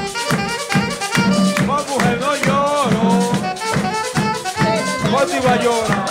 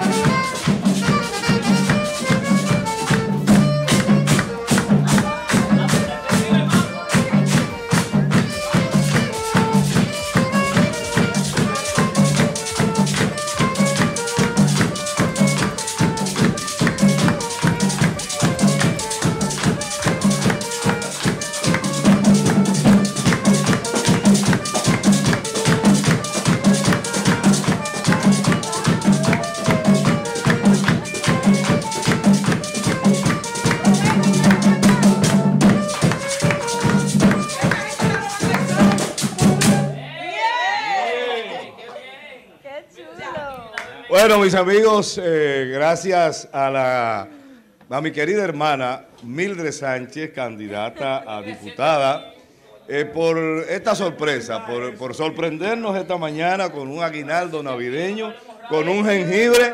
eh, eh, muy buena forma de hacer política, ¿verdad? Excelente, excelente. Gracias a Mildred. Muy genuino, muy genuino. ¿De quién yo lo aprendí? No sé, dilo tú, dilo ¡Para la tú. calle, para la calle! Siéntate, siéntate, Mildred. No, felicidades, de verdad. Muy Gracias. genuino y excelente. Claro, una manera. No, Mi maestro, poco- mira, yo peleaba mucho cuando me mandaban para la calle. Ese es el jengibre mío. Pero entendí que yo soy de la calle. Ey, Señores, toda la Señores, vida. jengibre mío, ¿quién me lo cogió? ¿Dónde está el jengibre? ¿Dónde está? No ¿Cómo lo va a ser? Pero yo lo tenía en la mano ahora mismo. ¿Qué pasó? ¿Qué es esto? ¿Qué pasó con el jengibre? Dale ahí, Sí, dale ahí. hecho por el pastor Catalicio. Riquísimo todo ese jengibre. Sí. Muy Estamos caminando nuestros sectores, nuestra gente, eh, buscando lo que hacíamos antes. Era una tradición Claro, de los aguinaldos, volver los a asaltos, con esos grupos de artistas, jóvenes. Sí, veo eh, muchos jóvenes ahí. Jóvenes muy ex- excelentes. Tiene un grupo palo de leña y estamos en la calle haciendo lo que nos gusta hacer. Ay, qué bueno. ¿Cómo Mildred. se llama el grupo? Palo de leña. Muy bueno el jengibre, mira, me lo tomé Eso todo. fue el pastor Catalicio que lo hizo lo con mucho todo. cariño. Y, y ese, y ese afán tuyo y de tu equipo de rescatar eh, esas tradiciones tan hermosas eh, me llevan a mí a, a sentirme contento porque vamos a tener unas representantes ahí. Bien. Mildred, Qué bueno, una qué pregunta. eh, sabemos que tú aún no estás en campaña porque no está abierta. Eh, sin, sin embargo, ¿Qué fue, preguntarte... ¿Qué fue Sócrates? ¿Qué fue? Que la Pero, trata mi- bien. Pero Mildred, amiga mía. Ese eh, secreto tan Desde hace mucho tiempo. Eh, ¿A qué debes tú, tú- entiendes tú que se debe ese apoyo que tú has recibido del pueblo de San Francisco de Macorís? Wow, al trabajo, al servicio. La gente está clara. La gente quiere gente de servicio, gente cercana. La gente te quiere, Mildred. La gente me ama. Mildred, Yo me siento una mujer Mildred, querida mi Mildred es una expresión No es que me quiere, la gente me ama, mijo. Ahí La gente quiere a Mildred, la gente se identifica con Mildred, pero es también, yo me lo he ganado, déjame decirte. O sea, yo la he visto, la gente ha visto en Mildred una mujer que quería estar en una oficina, en un programa privando en Jevite, en Buena Musa, y ese caballero dijo, es calle. La saqué yo para la calle. Calle, calle, ¿verdad? y yo Sí. vivía peleando, pero yo decía, ¿por qué quiero cuál es el problema de Amado? Tírame en Que la yo calle. tenía preferencia con Malupa y ella decía, ¿tú tienes preferencia con Malupa? Digo, no, Mildred, lo que pasa es que tú te desenvuelves mejor hacia afuera con la gente, el trato directo con la gente. Y entonces, pero ella no lo entendía, ella quería estar en estudio, era moza, bien. Y entonces... Pero lo entendí. Y ve, esto de lo que pasó el 6 de octubre aquí en San Francisco de Macorís, que fue donde yo fui la más votada. Hubieron muchos compañeros que me criticaron porque yo comencé a celebrar antes de que la Junta dijera que yo era ganadora. Y yo decía, no es que yo tengo que esperar a la Junta, el hecho de que yo gané en el sector de Hermana y en la urbanización Piña, de donde yo soy, donde yo habito, o sea, para mí fue un honor y, y de alegría de yo saber que he construido, que he sembrado en mi gente. Claro, eso es así. Porque la gente salir a votar, una, una cosa que la gente esperaba que nadie iba a votar ese día, porque tú sabes, y la gente hizo fila para ir a votar. Sí, sí. Entonces, para mí, eso es, yo estoy ganada. Usted está enfrente a la próxima diputada. Mildred. Ahí está, ¿eh? ahí está. Yo lo que quiero confirmarlo con la ayuda de Dios, y yo digo, no es por vista. Mildred, ¿tú, re- tú renunciarías Mira, a los estoy- privilegios de los diputados? Unos cuartos que le dan ahí que para traer vehículos y todo eso. ¿Tú Pero renunciarías a a ella, eso? Sócrates, que le responda.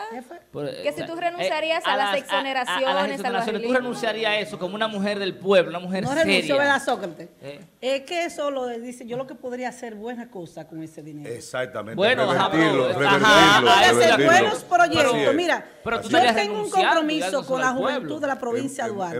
y lo he visto. decisión, Tú ves claro. todos esos jóvenes están ahí sin pagar un peso. Desde las 5 A, y las 4 a ese no le están pagando. A, ese que está- A nadie. Nadie está cobrando un peso. amigo mío, ese. ¿Ya viste? Entonces, se puede pensé, no soñar y se puede eh, a a a crecer la a juventud. Y aquí hay muchos proyectos. Y tú puedes hacer muchas cosas. El que me conoce sabe Claro. que yo haría con lo que yo tengo en la mano. Mildred, Claro. eh, ¿qué más actividades? ¿Y qué es lo que recibe? Yo no, sé, no me he podido investigar eso. ¿Qué es lo que Bueno, recibe? exoneraciones, un barrilito, una Eh, cosa. 100 Tú mil, y pico de do- ¿no? 100 mil y pico de dólares eh, de cada dos años. Estamos hablando de De que entre todos, Dicen que no hay entre, dinero. entre todos los, los congresistas, eh, cada cuatro años reciben 7 mil y pico de millones de pesos en exoneraciones solamente de vehículos, para que traigan vehículos Eh, eso, eso de lujo. eso significa que podemos hacer una fundación donde tú hagas muchas cosas. Exactamente. Con Dime, eso decir. Sí, eh, Está muy linda. 200 tú. mil dólares cada cuatro gracias. años, bien. eh, no, para eh, que nos hables un poco de las diferentes actividades que han estado realizando, se están yendo a, lo- a las comunidades, eh, vemos a otros que están haciendo, eh, jugando dominos por ahí. que- en el caso tuyo, ¿Quiénes son los que están jugando domino? Tú sabes Vamos- que Mildred, Mildred. Mildred no es solamente política, yo tengo pasión en lo que yo hago. Nosotros estuvimos en Arenoso, en Villarriba, vamos a recorrer todos los municipios, los campos. Y hoy estaba en mi sector, hermana Mirabal, en el barrio mío, estaba también una organización, o sea, estamos los que yo soy. ¿De dónde yo soy? De Telenor. Entonces tú no puedes olvidar tu esencia de donde tú eres. Y si tú estás, tú tienes que darle algo. Yo llamé aquí al conductor, aquí a mi querido amigo, le dije, ¿tú crees que puedo llegar? Porque tú sabes que hay cosas que Sí. cambian. Claro. Y para mí una satisfacción, me dijo, no, no, claro que sí. Y hay una gente que está de cumpleaños también. Sí, Vladimir. Vladimir, que quiero felicitarlo, que Paula, también sí, claro. es un artista Y que también. no se come el bizcocho solo. ¿eh? ¿Eh? Y yo te voy a decir, nosotros vamos a llegar a todos los sitios, pero con lo que tenemos. Con un grupo de jóvenes músicos, artistas, qué compasión que estamos haciendo. Mildred, pero para hacer, eh, tener una candidatura a diputado o a cualquiera de, vamos a decir, se necesita mucho dinero. Mentira, eso es mentira. Eso es lo que le ha hecho creer al mundo, que para tú hacer política tienes que tener dinero. Yo, to- yo soy diputada y no tengo cuarto. ¿Qué te dice la gente? Mindre no tiene dinero. Eso es lo que le dicen a la gente. No, no te trabajas por No, Mindre, no, que Mindre no tiene dinero. Pero tengo dignidad, tengo respeto. Oye, un trabajo tengo social pasión. hecho. Exactamente. Trabajo Bueno. social hecho. Si tú, ¿quién le ganó a Soy la Mateo? ¿Tenía dinero ese señor? ¿Quién le ganó? A ¿Eh? Sonia Polo, Mateo. Polo, Polo, que se llamaba, Polo. Sí, eh, Polo, Polo, Moncho, eh, Moncho, algo así, el- héroe de. Dajabón. Sí. No tiene dinero ese señor. Igualmente con un regidor que fue lo más votado de la República Él, él Dominicana. ha sido diputado tres veces. ¿Tú ves? Andan una pasola ahí. ¿no? Pero la gente está cambiando. Mildred no tiene dinero, pero tiene cercanía, tiene pueblo, tiene deseo, tiene vocación de servicio y la gente lo da. Bueno, Muy bien, señores, bien. esa es la candidata a diputada. Mildred Sánchez, mi hermana Mildred, A un- que ustedes ven. Quiero ser tu diputada, yo. Claro. Me trajeron la galleta. Hoy trae la galleta. Eh, gracias a Ah, Mildred no, no se por la mini entrevista, gracias a Mildred por el aguinaldo, Sí. gracias por el jengibre, gracias por tu presencia y gracias por todo. Gracias a ustedes Gracias por por ser tú. oportunidad. Gracias por ser tú. Esa soy yo, ¿verdad? Señor. Bueno. Vámonos a una pausa, mis amigos. Regresamos Ahí en breve. está. No se vayan. Sigue la Hay más aquí. contenido Aunque digan que soy un muchachito, aunque digan que soy un muchachito.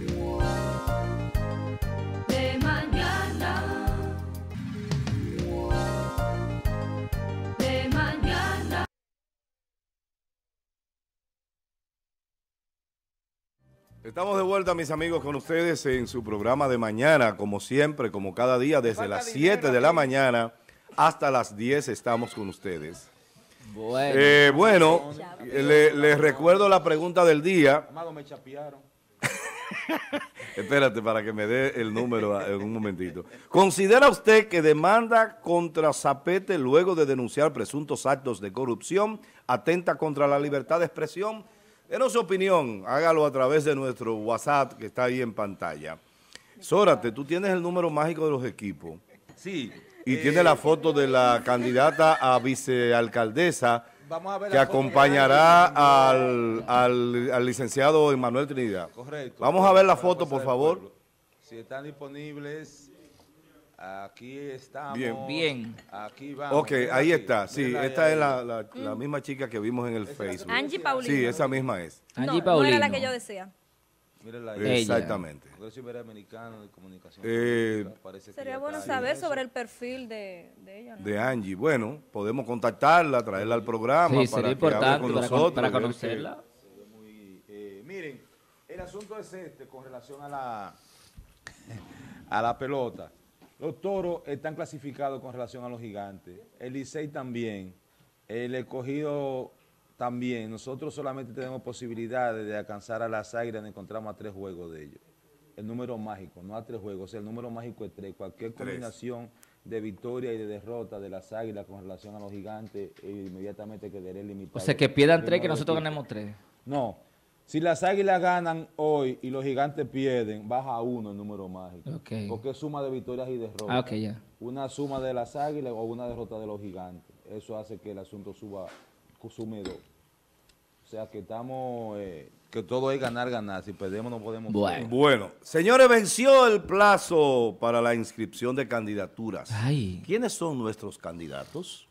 ¿Mm? A las 6 de la tarde de ayer miércoles venció el plazo para que los partidos hagan correcciones en las inscripciones de las candidaturas municipales, las cuales son los dirigentes políticos que aspiran a las diferentes posiciones municipales en esta ciudad de San Francisco de Macorís. Ahí tenemos eh, las actas, ¿no? Yo vi a Warner ahí en una. Yo. Yo no estoy en esta, en, esta vuelta, como dicen los En ese muchachos. can. bueno, la pregunta mía es la siguiente. Sabemos, eh, porque esta mañana leímos un mensaje de voz que enviara Emmanuel Trinidad a Sócrates y Sócrates lo compartió con todos nosotros. Sabemos que ya Emmanuel es el candidato oficial de la Fuerza del Pueblo, que ya tiene una candidata a la, a la vicealcaldía, que es la señora o señorita Angie, Angie Paulino. Angie Paulino. La pregunta mía es, ¿esto rompe el acuerdo con el Partido Reformista Social Cristiano o sale el Partido Reformista Social Cristiano de la coalición o está o, podría apoyar a otra fuerza el Partido Reformista porque sé que el impasse se había producido porque los reformistas habían acordado eh, una cantidad X de regidores, pero eh, resulta que aumentaron el número a su favor, según lo que me ¿Pero quién lo aumentó? ¿La fuerza del pueblo? No, no, lo aumentaron los reformistas porque lo que pasó fue que el reformismo fue quien inscribió la candidatura. Ah. Porque el reformista o, los- o el partido reformista está en tercera posición en la boleta.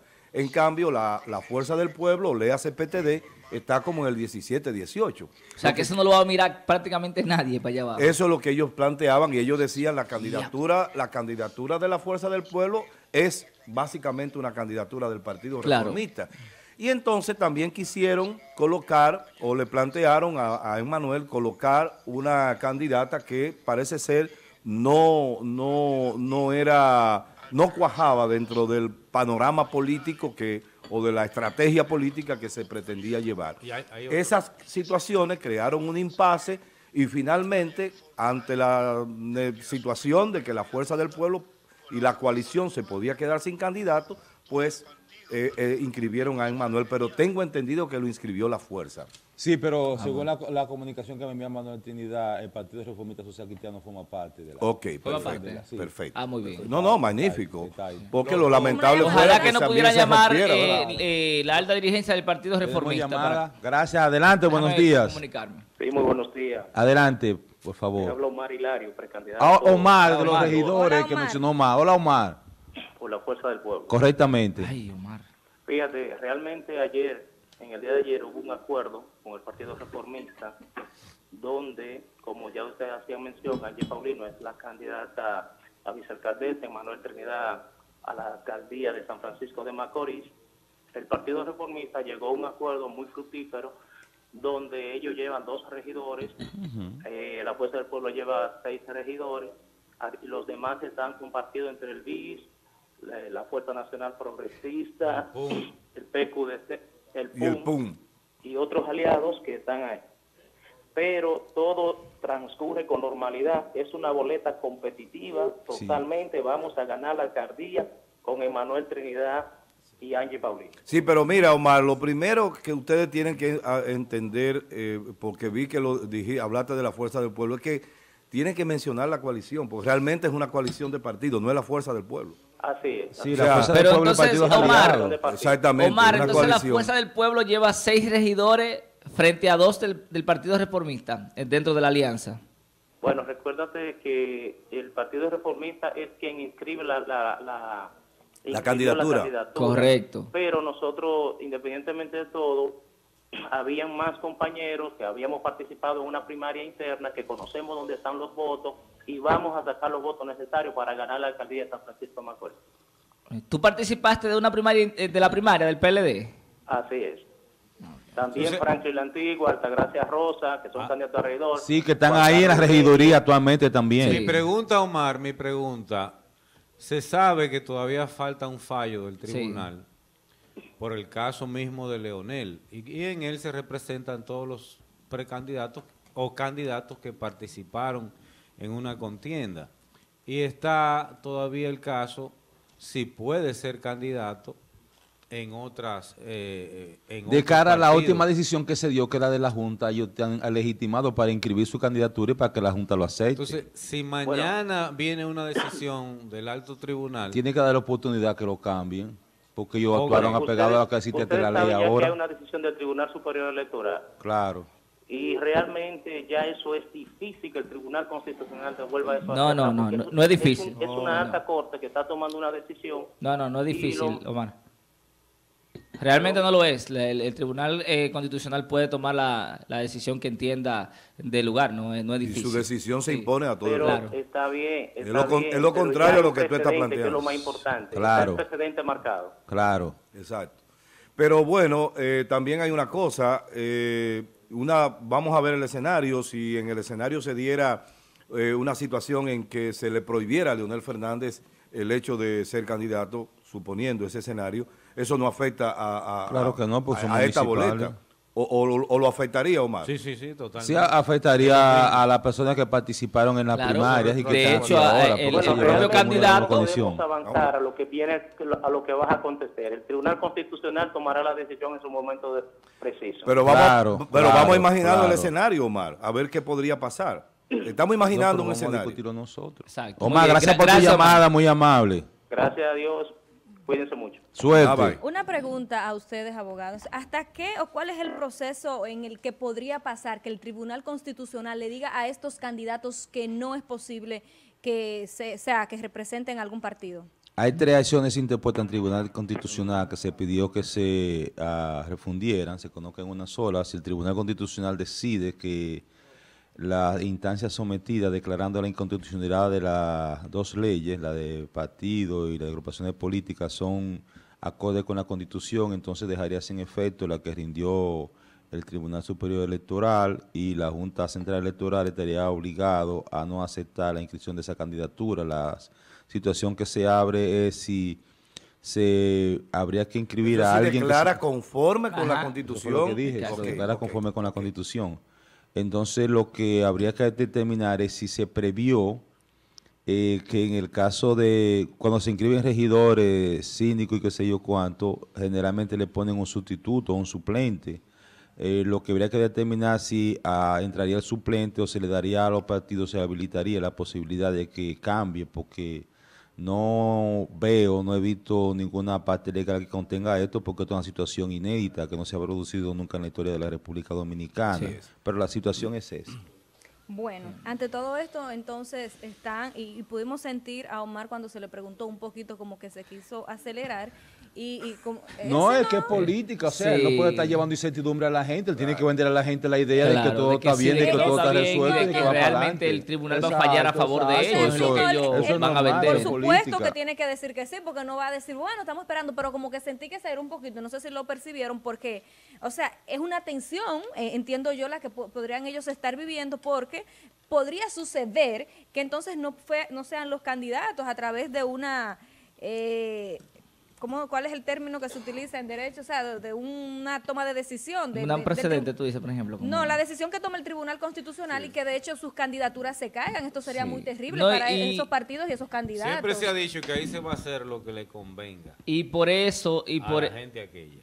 y por eso, no, porque es que no podemos verlo así. Eh, Bueno, pero es es que son ha 13 dicho. jueces. Y no es verdad que esos Es 13 que se jueces van a estar, no es verdad que esos 13 jueces van a estar Es a favor eh, necesariamente de, de- de todos, de una facción o de la otra. Se necesitan eh, eh, nueve votos, eh, eh, eh, por ejemplo, a favor. Entonces, ¿qué es lo que pasa?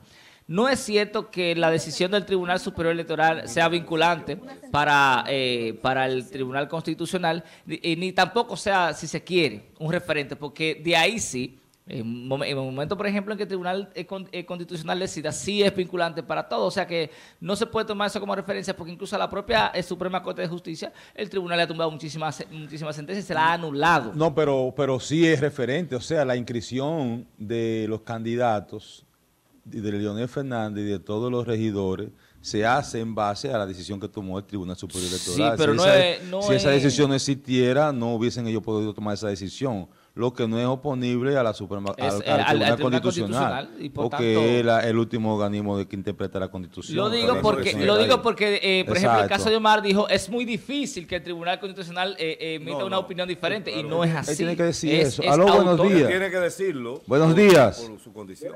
Buenos días. Adelante. Buenas. Buenos días, adelante. De, de la mañana, Rafael Díaz, que habla. Ah, Fue el día, adelante. Siempre estamos con ustedes vía WhatsApp, pero esta vez aparte, aparenta que hay cierto inconveniente porque no ha entrado a la mensaje. Y nos queremos referir específicamente, ver si, si hay de ustedes, no sé, Fulvio, que como ustedes la llaman de aporte, necesariamente... Rafael, tenemos un problema con tu llamada. Rafael, ¿nos Rafael. escuchas?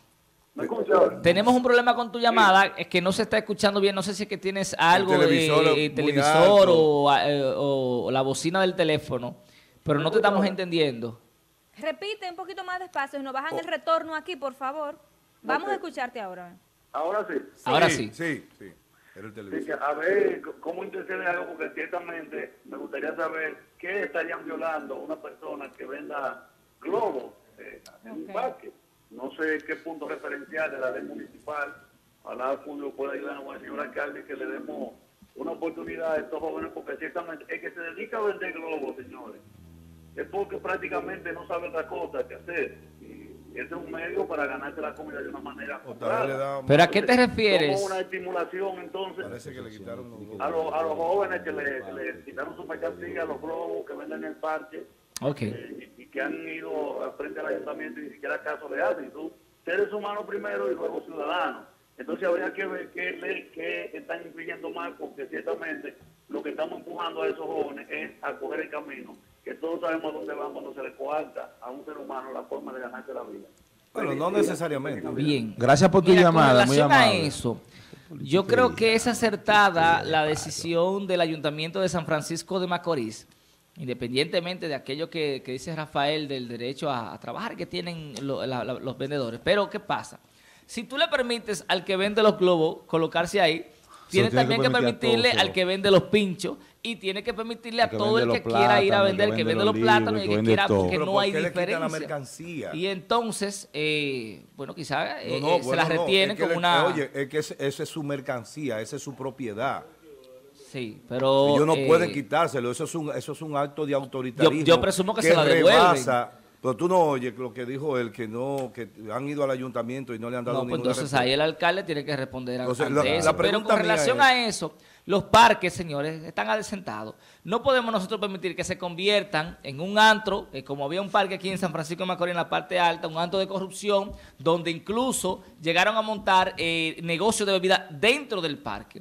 Y hubo que abolir todo eso, porque ahora el ambiente que se da es un ambiente familiar. Lo que tienen que hacer los vendedores es tratar de, de colocar- eh, de ubicarse en algún lugar parte, por ahí, claro en, sí, una esquina, Que se- donde está puedan, bien, eh, eso está bien, vender. pero que no le quiten la mercancía. No, claro, eso, es un- no. eso, es, eso, es un, eso es robar. Claro. Vamos a ver, eh, vamos, te- tenemos a Arismendi en vivo desde la Junta para este tema eh, que estamos tratando, el tema central. Adelante, Arismendi. Arismendi, buenos días. Muchísimas gracias. En esta ocasión nos encontramos en la oficina de la Junta Central Electoral del municipio de San Francisco de Macorís, dado que en el día de ayer venció el, plazo para la inscripción eh, a las candidaturas de los participantes en el próximo torneo electoral. Pero para que nos hable más detalladamente, vamos a conversar con el secretario de la Junta Municipal, Michelle Fría, quien no- nos estará hablando más detalladamente de este plazo. Michelle, ayer venció el plazo. ¿Existe alguna prórroga para poder inscribir alguna candidatura? Gracias, hermano. Como tú has dicho, ayer le venció el plazo ya para hacer cualquier reparo o corrección. Entonces ya ese plazo culminó y esta Junta Electoral conoció todas las propuestas de candidatura que fueron depositadas en esta Junta Electoral y ya están publicadas en la tablilla de nosotros de la Junta Electoral, ya las propuestas que fueron admitidas y algunas que, que no cumplían con algunos requisitos fueron rechazadas. ¿Cuáles propuestas fueron rechazadas y cuáles propuestas fueron admitidas? O sea, en si tu- su totalidad, un ejemplo, el Partido Socialista Verde depositó una propuesta, esa fue rechazada porque no cumplió con los requisitos. En el caso del Partido Reformista, el, el Distrito Municipal, don Antonio Guzmán Fernández, no cumplía con la cuota de género y fue rechazado ese distrito. Después las demás fueron acogidas. Entonces, ¿cuál es el procedimiento a seguir ya luego de Bueno, el procedimiento a seguir, la ley establece que tienen los partidos tres días para recurrir ante el Tribunal Superior Electoral por cualquier derecho vulnerado. Hasta el momento, ¿cuáles están inscritos? ¿Qué tenemos ahora? Hasta el momento tenemos nueve propuestas a nivel municipal. Eh, tenemos el Partido de la Liberación Dominicana, el PRM, el PRSC, eh, el Frente Amplio, eh, País Posible, PASOVE, eh, Alianza País, Partido Cívico Renovador y el PNBC, aparte del PRD que lleva candidatura en los distritos municipales y de Cenoví y La Peña. Entonces ya en lo que viene siendo lo- los regidores, ¿está todo, todo compuesto? ¿Están todos ya aprobados, todo armado? En lo que nos corresponde a nosotros ya se hizo el conocimiento de cada una de las propuestas y se, eh, dieron la, la información del lugar y ya estamos notificando a los partidos políticos. Bien, señores, ahí escucharon las declaraciones de Michelle Frías, quien es secretario de esta Junta Municipal, donde ya afirmaba de que está totalmente clausurado el plazo vencido eh, para la inscripción de los candidatos. De, mis de mi parte, es todo lo que tengo por el momento. Retorno con ustedes al estudio. Bueno, mis amigos, estamos de vuelta con ustedes. Escucharon desde la Junta en vivo una entrevista que hiciera Arismendi la Antigua con Michelle Frías, el secretario de la Junta Municipal. Habló de que se rechazaron las, las propuestas de candidatura del Distrito Municipal Aguayo, ¿no? El presidente Antonio Guzmán Fernández, porque violentaban el- la cuota de la mujer. Ahí está. Bueno, mira, el tema de la cuota de la mujer, eh, decíamos mientras seamos, no- mientras Un tema de Arismendi... Yerjan, que Yerjan ha estado No, no, yo Sí, eso- el mismo eso planteamiento, es- porque es eso que tú no es puedes inconstitucional. imponer, imponer que haya un porcentaje, una cuota, porque si siquiera las mismas mujeres quieren estar o participar en alguna boleta electoral, o sea, si no se ve esa motivación, no deben de imponerle a un partido político que si tú eh, no tienes ese porcentaje de la representación femenina, entonces tú no vas a poder llevar tus boletas a las Llegará elecciones, un de por momento Dios. que por equilibrio y Claro. igualdad habrá Eso que irá- reservarle un- una Cuota una a cuota a, a- a los- a- a los homosexuales. Claro, exactamente. Entonces, O sea, eh, los incapacitados también. También Claro, a todos. incapacitados. Eso no puede ser. Simplemente- A los iletrados. Claro, a todos. Eso simplemente se debe de dar, eso simplemente se debe de dar.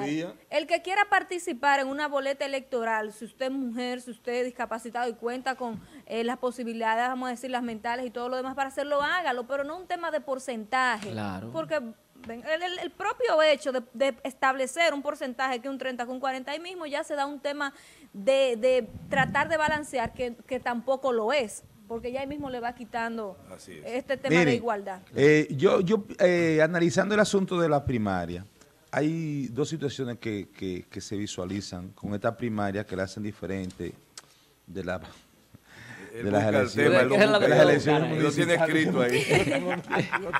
y, y- y le, y le da vuelta, le da vuelta, pero no está buscando nada ahí. de las elecciones municipales, ¿cuál es la condición que se da? Que como se produjo una fracción en el partido de gobierno y las elecciones municipales se están tomando como una precondición o como un referente para lo que pueda pasar en las elecciones de mayo, es posible que se, se asista a una concurrencia un poquito mayor que lo que despierta el interés por estas candidaturas municipales que nunca han arrastrado mucha cantidad de votos. No entendí. Mira, dependiendo del número de sindicatura, de, de alcaldías y sí. de distritos municipales que gane la oposición y que gane el gobierno, eso va a ser utilizado como arma política y como referente de cara a las elecciones Ah, de sí, mayo. exacto. Entonces, eso puede producir... Como el avance de la película. Correctamente, que tanto la oposición como el gobierno se preocupe por enviar la mayor cantidad de electores a ejercer el derecho al voto con mira a tratar de que sus candidatos ganen. O sea, enviarlo, eso- a- enviarlo con relación a las candidaturas municipales. municipales, correctamente. ¿Qué tú crees que pasará entonces? Yo digo que eso lo diferencia de si no existiera ese referente, porque si no existiera ese referente o esa condición, yo apostaría a que estas serían unas elecciones eh, municipales que no pasarían de un 20% de votos. El hecho de que vayan a participar ellos quizás lo lleve a un 30 ahora, a un 35%. No creo que vaya a pasar ahí. No, yo creo que va a ser más alta. Eh, pero ya ¿Basado en inclu- qué? ¿Basado ya, ya no, es que por ejemplo, si te das cuenta la primaria, la primaria era una elección interna incluso de los partidos y participaron muchísima gente, eh, más de un 30% Sí, participó. pero acuérdate que, que la primaria sí, uno, en uno. la primaria concita tanto interés porque son los candidatos a, Exacto. pres- a la presidencia. Correcto, es Eh, diferente. sí, también. Eh, pero Sí, sí, tú, le, tú quitas eso, se queda vacío. Con relación a lo que tú dices, eh, ya hay incluso partidos políticos que, que han comenzado a decir que quien gane las, las elecciones municipales de febrero no necesariamente se va a alzar con la victoria en, en mayo y es una forma de, de ir condicionando posiblemente una derrota. Eh, ya lo dijo Kiki Una Antún. derrota municipal. Sí, una- eh, Antún dijo, eh, si, si el PLD, por ejemplo, o el PRM gana la mayoría de alcaldías, eso no significa que va a ganar la presidencial. Es una forma de ir acomodando. Yo an- pero yo an- otros partidos sí han dicho que el que barra, por ejemplo, el que, el que gane la, eh, la mayor cantidad de sindicaturas,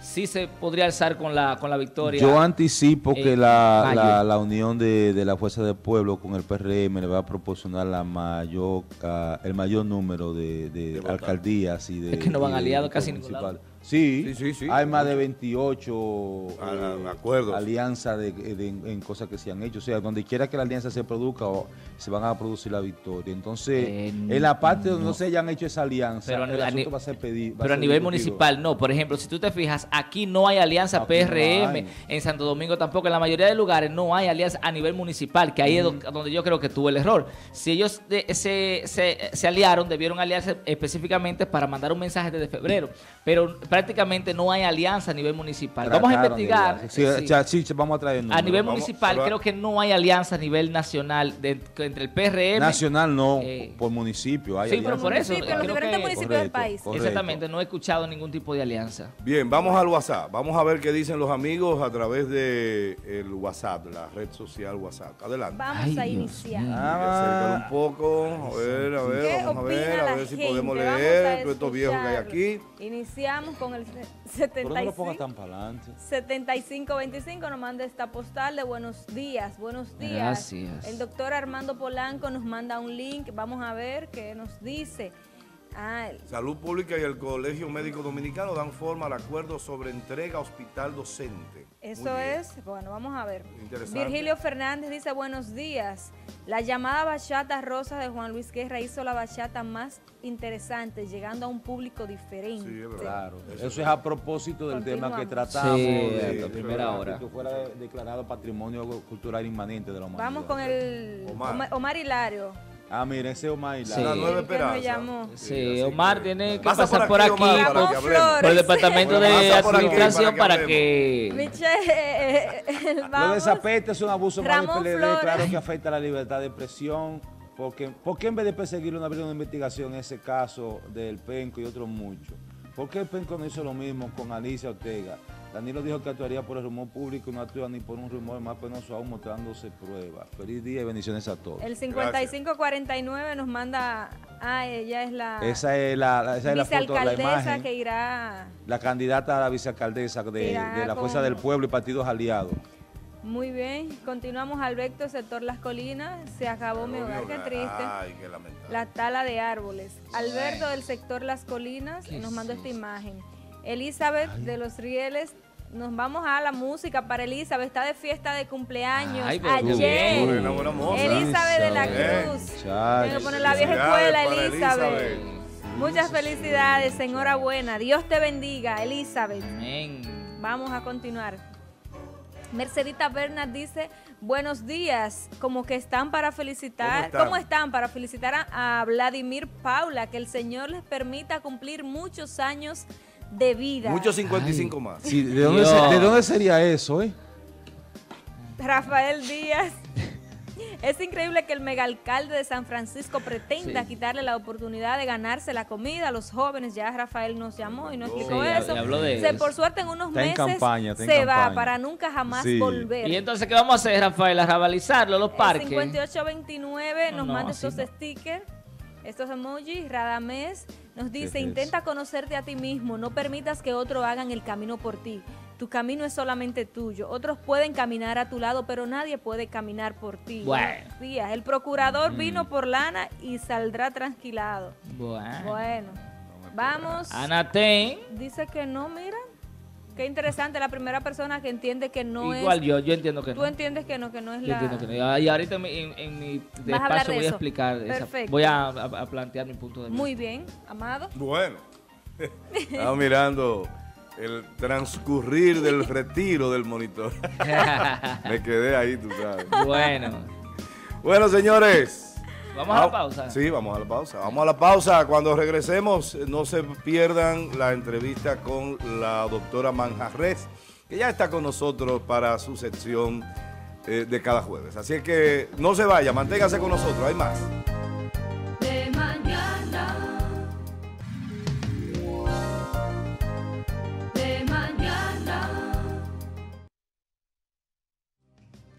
Estamos de vuelta, mis amigos, con ustedes en su programa de mañana. Al momento de la pausa anunciábamos la entrevista con la doctora Andrea Manjarres, que ya está con nosotros aquí a, a mi diestra. Buenos días, doctora. Muy buenos días. Placer de saludarle, Ah, de igualmente. tenerla acá con nosotros como cada jueves. Buenos días, doctora. Muy buenos días. Bueno, en el día de hoy quiero que toquemos un tema de temporada y es el tema de Navidad, ¿cierto? Porque normalmente cuando en estos días hablamos de Navidad, pensamos como en una parte comercial, ¿verdad? Los regalos que se van a dar, los niños los juguetes y eh, los adultos un poco más en términos de las fiestas, del consumo de alcohol, de comer mucho, pero quiero que reflexionemos un poco y recordemos el verdadero sentido de la Navidad. Independientemente de las cuestiones de la iglesia a la que se pertenezca, ¿no? El recordar un poco de Navidad primero como el sentido de, de familia, de reencuentro familiar, de como un pretexto maravilloso para acercarnos a estos familiares tanto los que viven cerca como los que están lejos, y también esta eh, temporada de fin de año que nos permite un ejercicio de reflexión, que debería ser así, de- pasar un balance. ¿Qué es lo bueno que tiene este año? ¿Qué he hecho? ¿Qué he logrado este año? ¿Qué me falta por lograr? Y miras al próximo año, entonces, ¿qué es lo que deseo realmente? ¿no? ¿Qué es- ¿Cuáles son mis anhelos en todas las áreas de desarrollo y cómo lo voy a lograr? Entonces, un poco esa es la, como la mirada que quiero que hoy tengamos de la Navidad y lo que es el fin de año. Doctora, eh, siempre se estila que Navidad es una época de reflexión, de familia.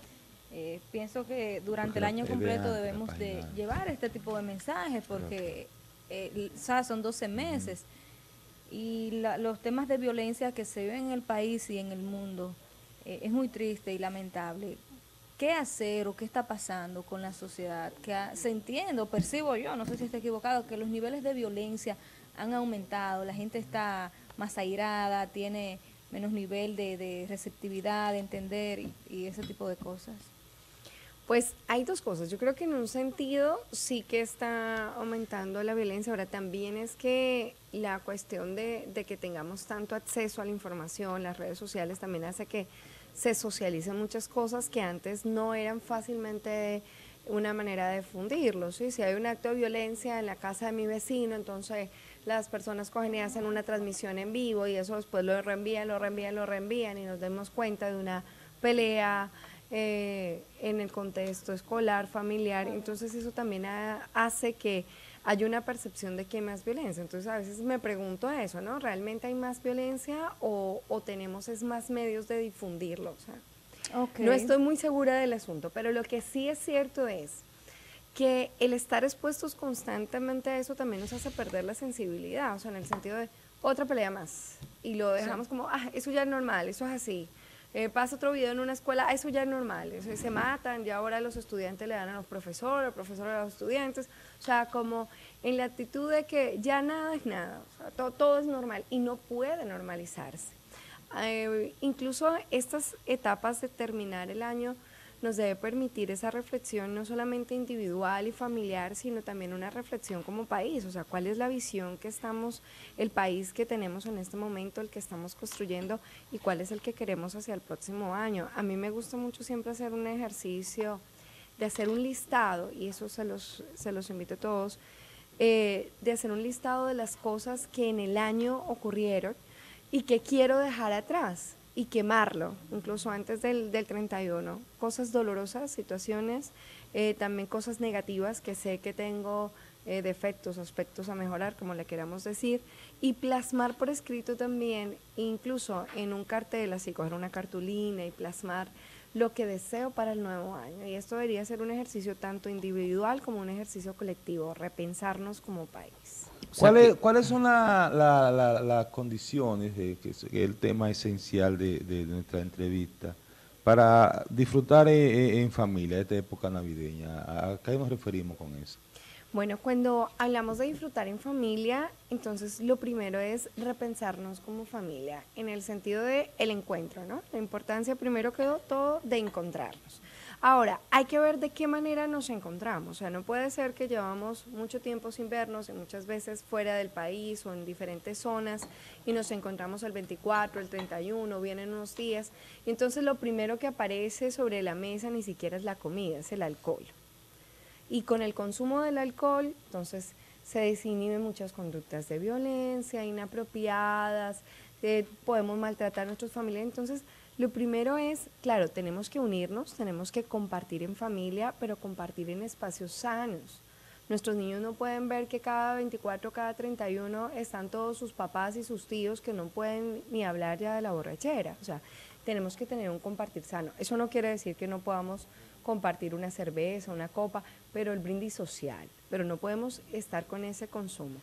Entonces, con esas condiciones en las que realmente en medio de un ambiente festivo, pero familiar, el poder conversar, por ejemplo, las historias familiares, el escuchar a nuestros abuelos, el pensar cuáles son los valores que caracteriza a nuestra familia, o sea, sentarnos y qué es lo que nos caracteriza a nosotros. Ah, que somos una familia trabajadora, recordar de dónde venimos, porque muchas veces las nuevas generaciones se les olvida, nosotros venimos de campo, nosotros veníamos de la clase obrera, ah, que ya hay otra situación económica divina, pero no, siempre fue así, o los que eh, estamos todavía en X situación, ok, ¿para dónde vamos? O sea, esa reflexión, ese reencuentro de quiénes somos como familia, qué valores tenemos y compartir, eh, especialmente dándole importancia a las personas mayores de la familia, a los abuelos y a nuestros niños. O sea, deben de ser el centro de la celebración familiar. Y desde luego, sí, eh, aparte de, de, de esa, eso familiar, pues está acompañado de creencias religiosas, pues ya la parte de cómo nace Dios en sus corazones y tal, que complementa un poco esa visión del, del ser humano y fortalece esa visión de los valores familiares. Entonces, doctora, volviendo un poquito atrás con relación a lo que usted planteaba, ¿usted recomienda que en familia nos juntemos eh, ahora, en, antes de que pase el año, que eh, escribamos la- es- esa- esos aspectos a mejorar y que entonces lo quememos juntos? O sea, lo quememos ahí, por ejemplo, hagamos una hoguera ahí cerca de la casa, eh, específicamente lo que, lo que viven en el campo, eh, hagamos un listado de las cosas que vamos a, a- o de las A cosas dejar malas que atrás. pasaron Ujú. ¿verdad? Y que la vamos a dejar atrás y la quememos en, en familia ahí. Eso, Sí. eso, eso realmente tiene un impacto real en la... El ser humano es muy simbólico, ¿no? Entonces nos ayuda a pensar qué es lo que quiero cambiar y qué no. Incluso, mira, hay otras prácticas muy sencillas para fortalecernos como familia. Por ejemplo, podemos coger tres botones, uno rojo, uno verde y uno blanco. Y que cada uno de nosotros lo tenga. Entonces, digamos, nosotros somos la familia, ¿ok? Entonces, eh, eh, cuando yo voy a dar el blanco es cuando le voy a pedir disculpas. Por ejemplo, ah, que tú eres mi hermano y yo te faltaba el respeto. Entonces yo, mira, bueno, yo quiero darte esto porque yo te falté al respeto el día que esto, esto, esto, te pido perdón, nos abrazamos, una manera de fortalecer vínculo. El rojo, ¿qué, ¿para qué vamos a dar el rojo? El rojo lo vamos a dar cuando le queremos expresar a un familiar que algo con lo que no nos sentimos cómodos. Entonces ahí lo mismo. Entonces está mi madre, mami, mira, yo quiero entregarte esto rojo porque yo quisiera pedirte que por favor, eh, por ejemplo, eh, qué sé yo, no, no levantes tanto la voz o que respetes mis espacios, o sea, es como un stop, ¿no? Y el verde o dorado, cualquiera de los dos colores, para dar un reconocimiento. Ah, yo quiero darle un reconocimiento a mi hijo, mira, porque eres muy ordenado, porque eres un hijo muy detallista, porque cuando quiero resaltar algo. Este tipo de dinámicas familiares nos puede ayudar a fortalecer el vínculo, a sentirnos reconocidos, a entender qué es lo que está pasando en nuestra familia, a fortalecernos en los procesos de perdón y de mejorar en el día a día. Digamos, este tipo de dinámicas, porque a veces bebemos porque es que no sabemos qué más hacer. O sea, nos ponemos ahí, todo el mundo hable, pero entonces hay muchas dinámicas bonitas que como familia podemos hacer que nos dan crecimiento, ¿no? Eh, Usted la- las plantea, y discúlpame Sócrates, parece que iba a hacer una intervención, que uno escuchándolo, la gente escuchándola, pensaría, bueno, eso se escucha como muy cursi o muy como raro. Pero en, me parece en- que en eh, en- tienen en esta efecto. cultura tan machista que tenemos, Eh, que somos una cultura machista. Pero, Y- pero fíjate algo, yo Sí, trabajo Sí, esta, esta dinámica, la he trabajado tanto en instituciones educativas como en empresas, porque ustedes saben que yo trabajo en la parte empresarial también, y da unos resultados buenísimos. Nunca he digo. encontrado ninguna empresa en que alguien como que no me siento como no.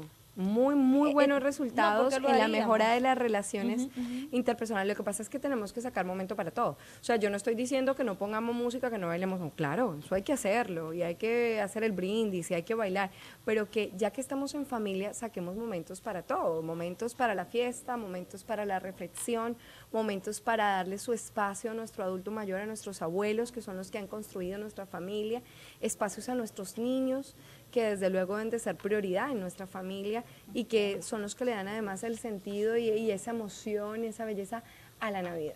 Pero al margen de lo que uno quisiera y de la utopía que uno pueda tener, realmente en la sociedad de hoy, como un hecho contundente, lo que prima es la individualidad y dentro de esa individualidad está el uso del celular como elemento preponderante de los jóvenes que una familia, juntarse una familia hoy es simplemente sentarnos los siete, hablar por celular con gente que están quizá a un millón de distancia. O sea, ¿cómo conjugamos eso? Qué bueno que tocaste ese elemento. Yo creo que además no solamente un problema de los jóvenes, ¿eh? Lo de- también Sí, las sí. otras generaciones están allí, mucha gente, 40, sí, sí, sí, 50 es años, cierto, enganchados es cierto, es ahí. cierto. eh, no solamente las nuevas generaciones. Entonces, sí tiene que haber un control y tenemos que hacerlo, o sea, tenemos que hacer un pacto en familia de que, ok, aunque sea mientras el momento de la cena, todos los celulares ahí, vamos a poner una cajita, todo el mundo ahí, o todo el mundo, o sea, tiene que haber momentos en que nos desconectemos. Eh, claro, uno quiere tomar fotos, videos, pero tiene que haber momentos en que exijamos como familia y hagamos acuerdos, porque si realmente no lo hacemos, no vamos a lograr eh, compartir como familia, que ese es el verdadero sentido de la Navidad.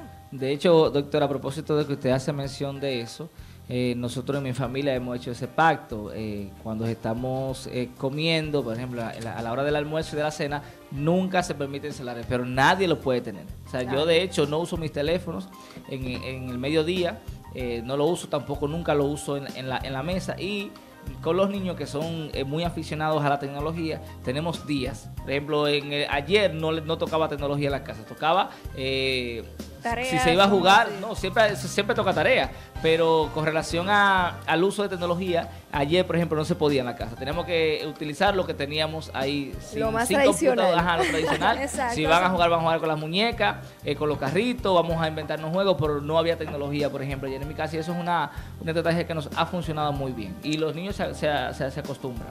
Muy bien, muchísimas gracias a la doctora Andrea Manjarres que estuvo con nosotros hablando sobre qué hacer en la Navidad para fomentar y fortalecer esos lazos familiares y la buena convivencia. Muchísimas gracias, doctora. Bueno, y nada, recordarles a las familias que el verdadero sentido de la Navidad es compartir.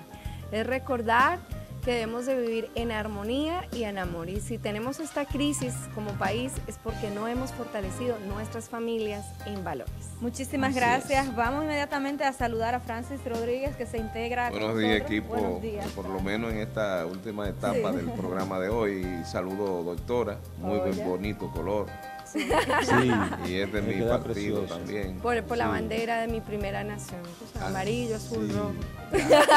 Excelente color. Muy Buenos días a todos y gracias por, al Padre por darme la luz de este día. Eh, muy bien, muy bien. Vamos en este momento a escuchar a Yerjan La Antigua con la exposición de su tema. Adelante, señor La Antigua. Gracias, gracias Carolina. A propósito de lo que decía la doctora, hay un anuncio eh, que ha preparado una compañía de telecomunicaciones, de la cual me voy a ahorrar el, el nombre, eh, pero que la gente supongo ya que lo está viendo, que es que dice vive y luego comparte. Eh, lo veo circulando a nivel nacional e internacional, que es de un padre que está participando de una actividad justamente navideña y él está grabando a su hija y él deja, o sea, él baja el teléfono para concentrarse en disfrutar el momento. Y así sucede con mucha gente que está en actividades que a veces se preocupan más en grabar el momento y no, y no disfrutarlo para entonces compartirlo. Este anuncio es una invitación, es muy interesante. eh, la- cuando la gente lo vea me va a entender de una compañía de telecomunicaciones. Y este anuncio te está invitando a que primero vivas el momento y que luego lo compartes. Es en decir, que le ponga... Ajá. Yerjan, uno graba al artista y entonces no lo disfruta. Ajá, entonces no lo disfruta. Entonces, Sí. ¿qué hace este anuncio? Que te está diciendo, baja ese teléfono y si tú lo bajas, eh, graba aquí abajo, pero disfrútalo y, y comparte lo que te quede de eso. Y es muy interesante a propósito de lo que decía la, la doctora, porque a veces eh, esas cuestiones existenciales eh, nos motivan a compartir más lo que estamos, lo que no disfrutamos, que realmente a disfrutar la esencia de la cosa. Así que yo felicito a esa compañía por, por esa excelente iniciativa, eh, precisamente de, de Navidad. En el día de ayer, cambiando de tema, nosotros decíamos aquí que había un impasse, según nuestras fuentes, con el presupuesto del año 2020 del Ayuntamiento de San Francisco de Macorís. Israel le compartió una fotografía.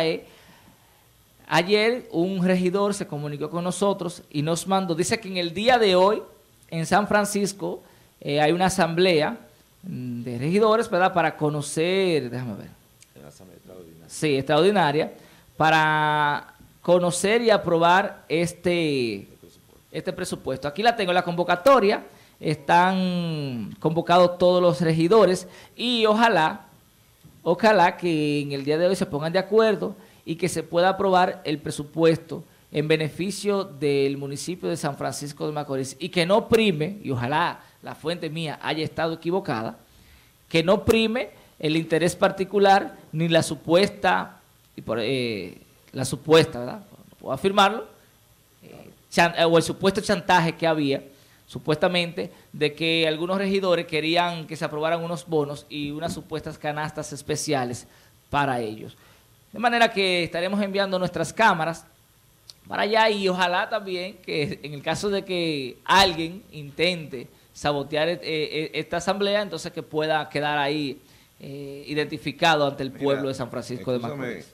eh, me llama poderosamente la atención la denuncia y la parte política interna de la sala, independientemente de que ciertamente no puede estar sujeto un presupuesto al ánimo de grupos o de particulares, porque suponemos que ahí está basado no solamente la inversión para la ciudad, sino la operatividad del propio ayuntamiento, porque tú no puedes limitar los compromisos fijos que tiene el ayuntamiento en base a un plan. Ahora, ha existido y existe unos planes que para Navidad el ayuntamiento realiza una política de, de entrega de por la época.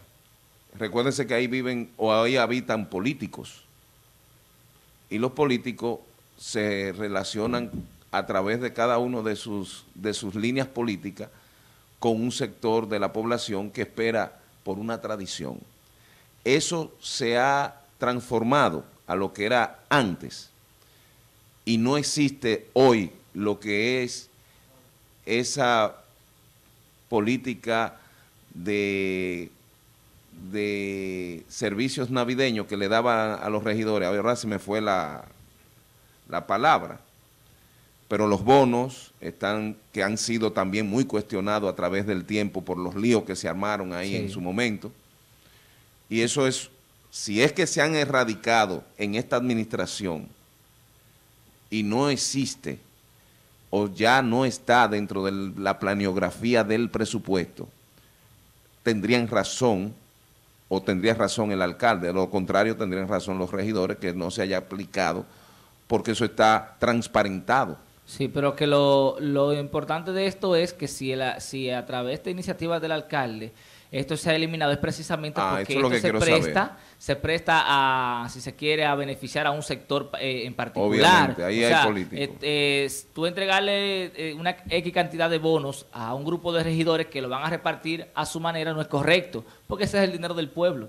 Y si, y si le van a dar bono a un grupo, entonces eso debe ser en función de que, de que todo el pueblo tenga la oportunidad de Cada participar en regidor tiene una línea bonos. política, ciertamente, es un que se, ser. se beneficiaba de eso. Ahora, Sí. ya se radicó, entonces el regidor tiene que reorientar su posición porque no es posible que esté superditado a un ánimo de grupo claro. o de partido, porque recuérdate que no todos son del PRM, no todos son del Correcto. Partido Reformista, y, y en fin. Bien, eso, eh, la pusieron la, la, la imagen de la asamblea. Pero lo más Sí, importante, la- es si el ayuntamiento redi- re- rediseñó lo que debe ser justo para una administración y no una administración de reparto.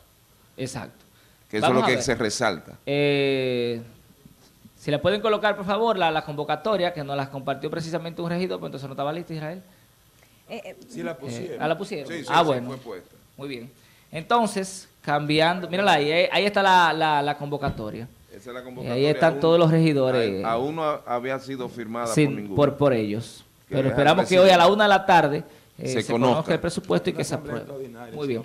Cambiando de tema, eh, quisiera tratar brevemente el caso de, Marino Zapete, que está siendo sometido a la justicia, está siendo demandado por difamación e injuria.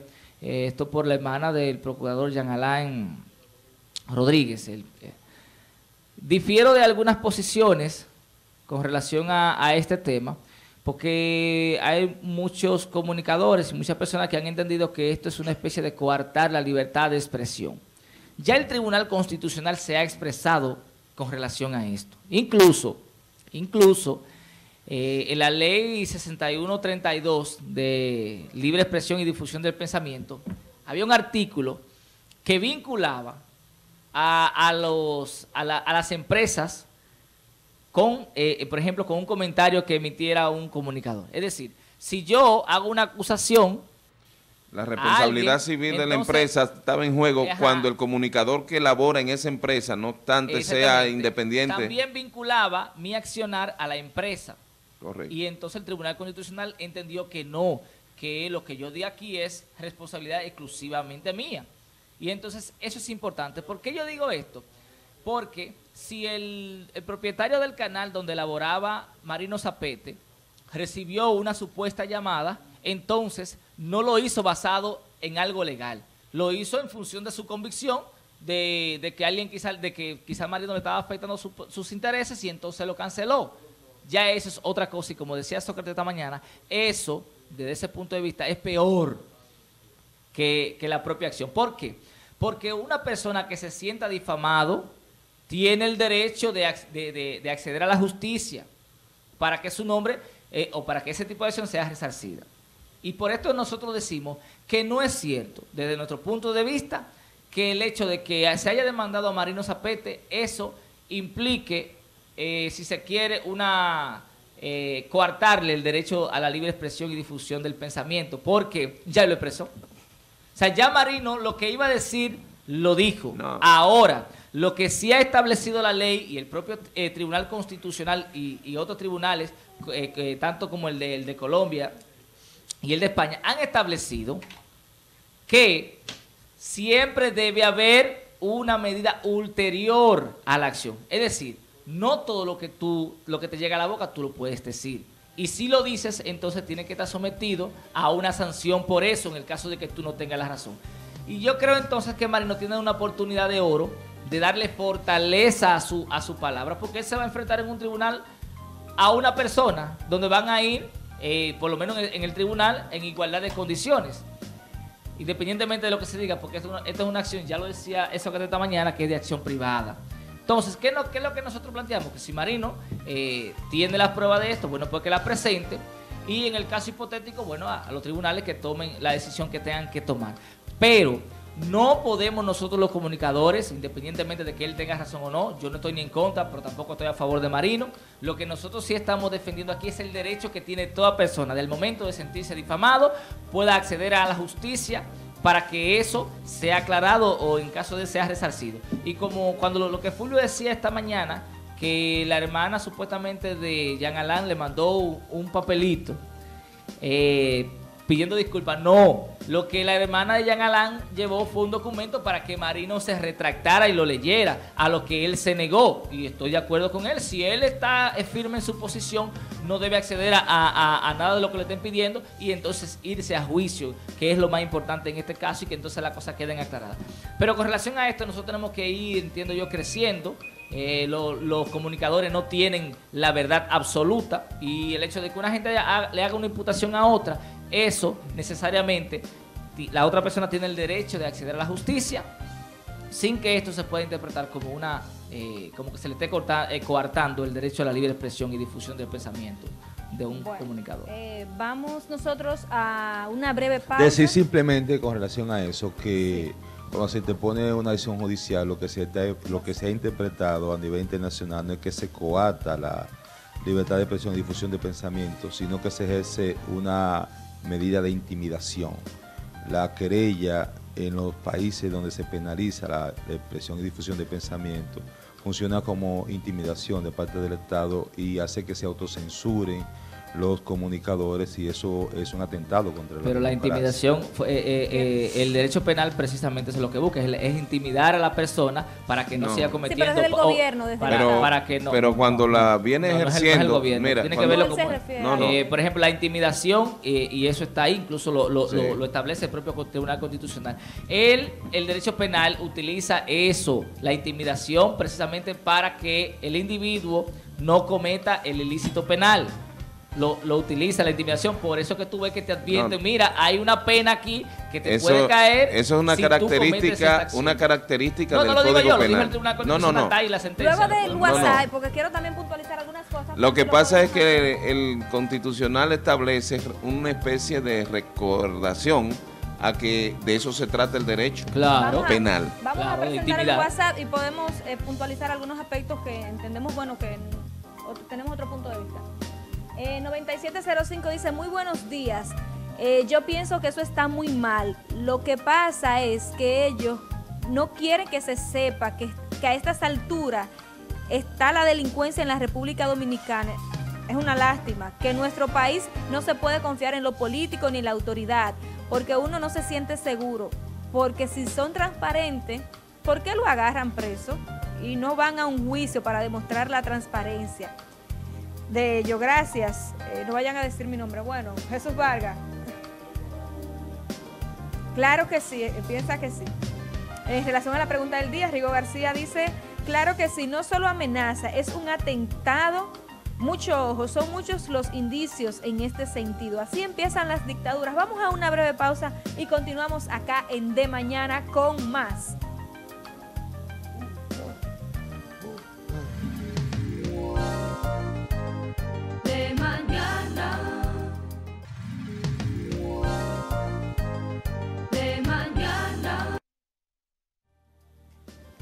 Bien, continuamos acá en De Mañana. En este momento vamos nosotros a escuchar la exposición del... Iba a decirte señor Francis. De Francis Rodríguez. Vamos a ver qué nos Muy trae. bien, gracias Carolina. Miren, en el día de ayer y hoy se hace mención interesante de que la UNESCO declara eh, la bachata Sí. como patrimonio de la humanidad, me imagino inmaterial, como fue dado del merengue, porque son eh, ritmos que se le han denotado, se le han dado como autóctonos de, o de esta zona del Caribe, en República Dominicana. Eso es importante. Eso proyecta eh, nuestra cultura, eso asienta un poco más nuestra cultura, siendo nosotros una cultura un tanto asediada por otras y, y donde la transculturización es una realidad, producto de, de que el dominicano, conforme han pasado los tiempos y históricamente, se ha movilizado a través del mundo. Y cada dominicano que tiene contacto con una cultura, la asume, eso trae consigo que cuando regresa al país, un tanto la deja reflejar y va influenciando en otros. Y entiendo que ahí se da la conjunción de, o lo que llamaríamos la transculturización.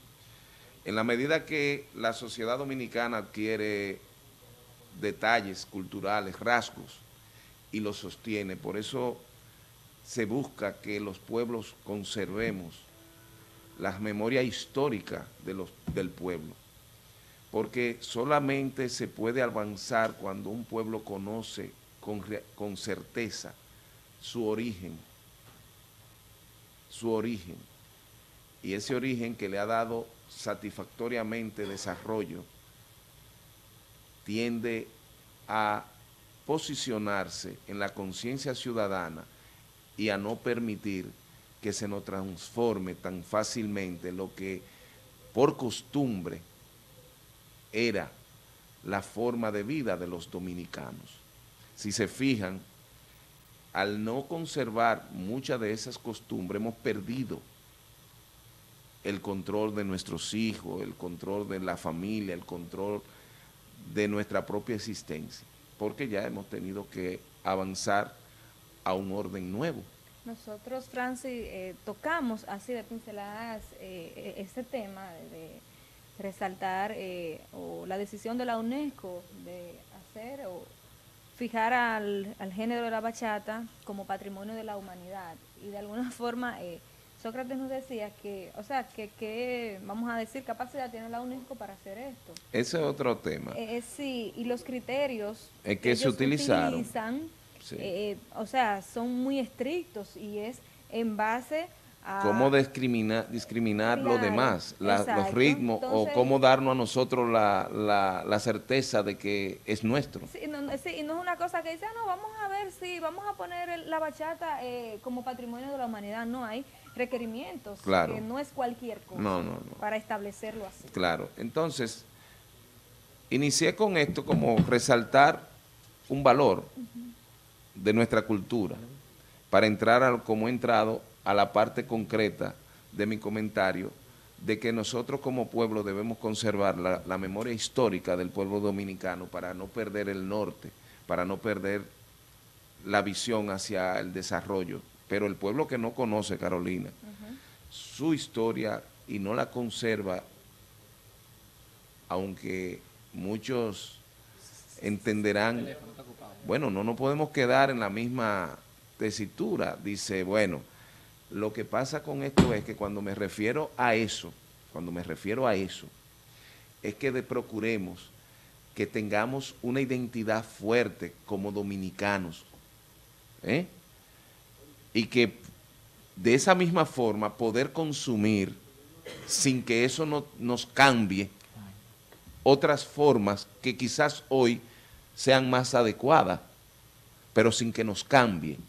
Eso hace que seamos vulnerables si no lo tenemos tan firme, vulnerables a, a- a tener discusiones y, y- y contradicciones de que el escudo debe estar en la bandera. Eso es un punto. Increíble. Es decir, ponernos a discutir lo que es nuestra identidad. Ah, que eso eh, eh, ataña, señor, nosotros somos dominicanos, nuestro lienzo tricolor es lo que identifica que aquí hay una nación, que hay un país que está contenido de seres humanos que comparten un mismo idioma, una misma cultura y una misma realidad. Pues entonces, procurando yo recabar información para alertar sobre el deterioro y proceso progresivo que se han dado la tarea pensadores internacionales y locales para sujetar al dominicano a un pensamiento supuestamente liberal, dejando de lado nuestra identidad, que eso hace propicio objetivos que hemos denunciado y hace propicio que nuestra nación, que a la vez es una nación insular porque comparte una isla con otra nación, aunque la otra lamentablemente ya no existe como tal, existe para mí un pueblo, Una masa de gente. una masa de gente totalmente desprovista de dirección y de liderazgo. Eh, ¿Eh? Francis, Sí. sí, sí quiero eh, resaltar en eso que tratas, eh, la parte de la transculturación que, que hablaste y el poco, lo poco fortalecida que está nuestra cultura. Debilitada, es que yo entiendo Debilitada, eh, sí. O sea, nosotros, cita- citaste el caso de la bandera, o sea, de si hay una disputa, de que, Que se no debe de debieran. ir con el, con el escudo dentro, que la gente no sabe. O sea, cosas tan fundamentales de nuestra formación como país, de lo que nos identifica, de lo que dice lo que somos. Si tú te fijas en la media, en, la- en- en- en el mundo moderno y los países más avanzados, no juegan con su identidad. Tú no has visto estar criticando la bandera si tiene Estados Unidos una estrella más o una estrella menos. Al contrario, si le quitan una estrella, ahí hay Es decir, no hay manera de que yo comprenda una serie de, individuos liberales que a- a la vez brillantes pensadores en su momento, pero han vendido sus talentos a propósitos que más bien atacan la identidad dominicana. Aquí hay personas que han trabajado incluso libros de textos y han tratado de transformar la historia real de la República Dominicana y eso se le está enseñando a nuestros hijos. A eso que me refiero. Y este momento político debe darnos la oportunidad de no perder esa identidad. Un momento, vamos a una llamada. Buenos días. Sí, buenos días, Francis. Buenos días, Carolina. Buenos días. Yeye. Con relación al tema que ustedes estaban ahorita eh, comentando sobre los famosos bonos que el ayuntamiento implementa Ajá. cada, cada año, en Navidad, Sí. Yo no estaría de acuerdo en, en el sentido de los bonos. Yo, ve- yo me iría más lejos. Hasta que hay programas que, que beneficiarían mejor a la población con esos recursos. Y ese caso, eh, mira, yo que te hablo a veces, he tenido que en la obligación de salir a pedir leche para niñas eh, recién nacidas en esos barrios. Sí.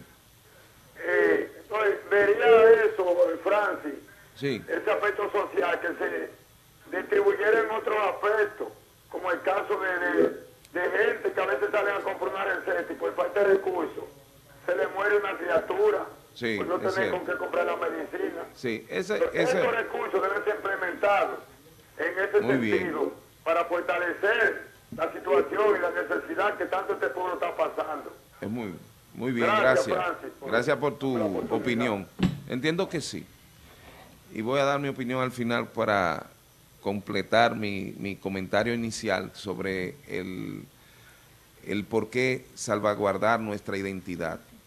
Y qué bueno, y qué bueno que, que haya que haya una Ah, Está abierta la llamada. Vamos a ver. Eso es lo que me estaba escuchando. A- Ahorita era. Hola, producción. Hay una llamada ahí, porque se está escuchando. Hay una llamada. Francia, una-. Bueno, para con- concluir mi, mi- mi orientación hacia la conservación de la cultura dominicana y de, y de nuestra identidad, lo he hecho en el contexto de que precisamente producto de, de una evolución musical se ha impregnado en el sentir pu- del pueblo dominicano la bachata y se ha internacionalizado la bachata y eso le ha merecido que se nos reconozca internacionalmente que República Dominicana posee un segundo ritmo que es patrimonio inmaterial de la humanidad. Y si tenemos la capacidad de hacer grandes cosas, ¿cómo permitir que se hagan con nosotros especie de pruebas o experimentos de laboratorios sociales y políticos y nos quieran impregnar de otras culturas hasta el punto de erradicar la nuestra para que aceptemos otra, que es la haitiana, que no es más que la, de- que la fusión y la desaparición de dos estados y conformar uno como el estado binacional de Quisqueya. Eso lo estoy diciendo hoy, 12 de diciembre de 2019. Y a muchos y muchos se han jactado en criticarnos a nosotros, la Fuerza Nacional Progresista, cuando hemos hecho las advertencias por muchos episodios que unidos usted puede encontrar toda una base para sustentar de que se atenta contra nuestra propia identidad y los valores patrios. No permita, dominicano, que nos sigan manipulando, incluyendo el propio Estado actual, se ha ceñido a esas intenciones, porque dentro del propio Estado operan individuos que representan esos desvalores y esos proyectos perniciosos para la vida dominicana. Espero que sigamos cultivando cultural y políticamente mejores valores y lo transportemos a mejores prácticas que surjan para que el mundo nos conozca de otra manera, no con la pobredumbre que nos han proyectado en muchos casos. Muchísimas gracias, Francis, por eh, la exposición de tu tema. Eh, ciertamente eh, estamos de acuerdo Gracias. casi en todo lo que has puntualizado. Quiero significar algunos aspectos que se han tratado acá y que no ha sido posible hacer el comentario. En lo que tiene que ver con la inquietud que ha venido presentando Yerjan hace unos días con lo que posiblemente esté pasando en el ayuntamiento municipal y la aprobación del presupuesto para el 2020. Creo que es de ser cierto esto, eh, estas informaciones que han salido eh, de manera no oficial, porque no se ha atrevido eh, nadie a decir quiénes son esos regidores. El hecho de que se esté sonando, de que se esté dando esta situación de que para la aprobación del presupuesto de San Francisco de Macorís sea necesario que se les ofrezca o se le entregue algún tipo de beneficios, sea canasta, sea dinero en efectivo, aunque sea para lo que usted quiera, que llevárselo a la gente, para obras sociales, olvidemos no Obras eso. sociales. No es aún... No regulada. Ajá, y aún, sí, no para que se escuche bonito. Sí. Aún siendo, vamos a decir, que sea con toda la buena intención del mundo, que es para ayudar. O sea, no es posible, bajo ninguna circunstancia, que un regidor esté manipulando o esté chantajeando a una alcaldía, a una institución para que esto sea aprobado. ¿Cuál es la función de usted? ¿Cuál es la función de un regidor? No es salir a dar obras, hacer entre Ni a promover hacer- obras, ni a sí, dar- promover obras, porque ni no a hacer tiene esa entregas función. sociales, Ni a o dar sea, romo con ni eso. a dar romo. No, no. Su función es legislar y tener parado en una alcaldía un proyecto de aprobación de un presupuesto, por Dios, con una manipulación o chantaje. Tiene la sala capitular de San Francisco de Macorís que revisarse. Tienen los que están incidentando esta, eh, eh, o sea, la aprobación del presupuesto, tienen que ver qué va a suceder, porque no es posible que nosotros tengamos un ayuntamiento parado por esto. No. ¿En qué cabeza cabe que usted como funcionario esté realizando este tipo de accionar? Habla muy mal y deja muy mal parado. Y quienes han, eh, en el caso de, de quienes han emitido estos comentarios, que son fuentes que me parece Yerjan ha recibido y que hemos Sí. escuchado a otros comunicadores y gente que está a lo interno del ayuntamiento decirlo, pero por Dios, hay que denunciar esto, pero hacerlo de manera pública, porque es que no podemos tener a un pueblo que tenga un presupuesto parado porque hay un grupo de gente que quiere que, que le den canasta, que le den remuneración, que le den cheques para hacer las supuestas obras o para aprobar el presupuesto. Sí. Pero ¿y qué es esto? No es posible. Y nosotros los franco-macorizanos debemos de empoderarnos con estos temas. O sea, no podemos hacer caso omiso con todo Mira- lo que sucede en ese ayuntamiento Carolina. municipal y con esos regidores Ven. que tienen años y años Sí. ahí haciendo nada. Mira, Carolina. No, y, y que, inclu- Fran. y que Vamos a incluso ya se sabe de que han- han- hay, audios que han, que han salido ahí de, de regidores que para aprobar obras eh, hay que billetear. Mojarle la mano. Buenas noches. Vamos- buenos días. Ay, Dios, pero ¿qué es eso? Buenos se días. quedó, ¿Qué esta mañana, se quedó donde mañana. Frank. Buenos días. Buenos días. Inmaculada. Eh, Inmaculada, chequea Habla, el teléfono Inmaculada. que está sonando un poquito extraño. Sí, Explícanos, Ay, ay. Inmaculada, ¿qué tiene para decirnos? con respecto a lo que Carolina está con, comentando, Comentando. eso es muy cierto, que ahí hay regidores que el presidente lo convoca para aprobar, a- a- va- en varias ocasiones lo ha hecho, para aprobar el presupuesto participativo, y simplemente no van. Primero, para hacer el cabildo abierto, pues, eh, pasó lo mismo. Eh, convocó, sencillamente no fueron, no había quórum. Entonces, también para aprobar el presupuesto participativo, el presidente convoca y ellos simplemente no van. ¿Por qué? Ya sabrá. Pero la gloria sea para Dios que ya esa sala capitular se va a desentar.